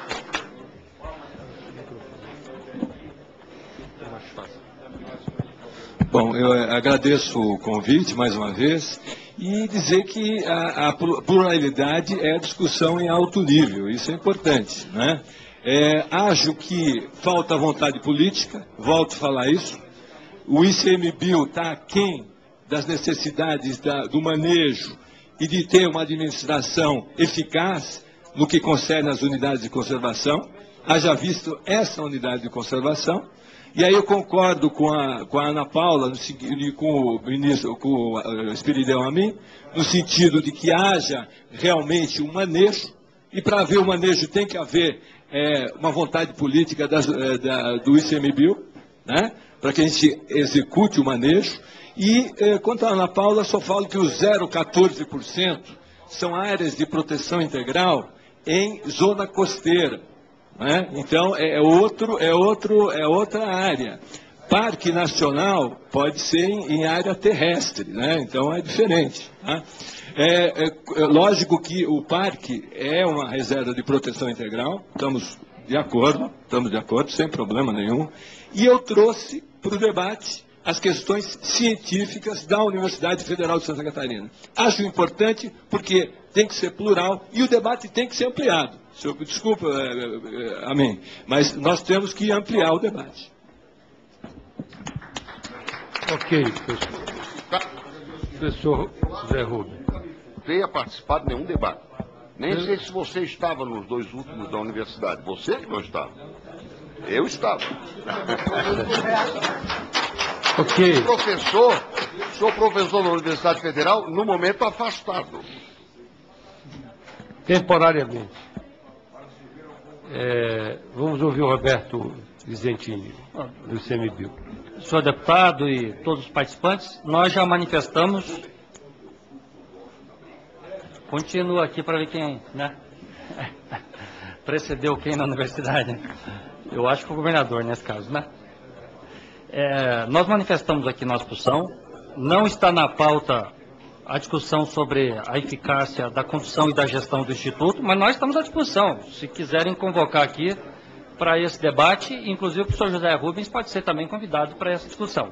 Com relação à Rebio, é, é, com relação à proposta de recategorização, nós oferecemos aos senhores deputados, autores do projeto, o devido apoio técnico, não nos furtamos nesse ou em qualquer outro caso. O Instituto está de portas abertas para prover as informações solicitadas.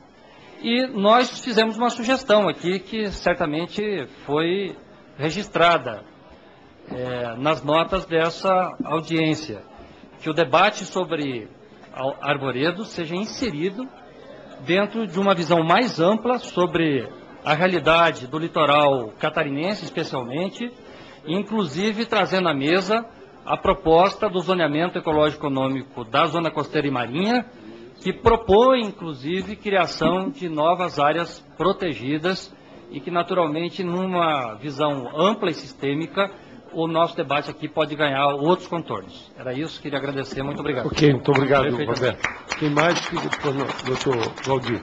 Também queria, Pois não, também queria agradecer a oportunidade de estar aqui, colocar o governo do Estado à disposição, quer no sentido ambiental através da Fátima, no jurídico através da Procuradoria-Geral do Estado.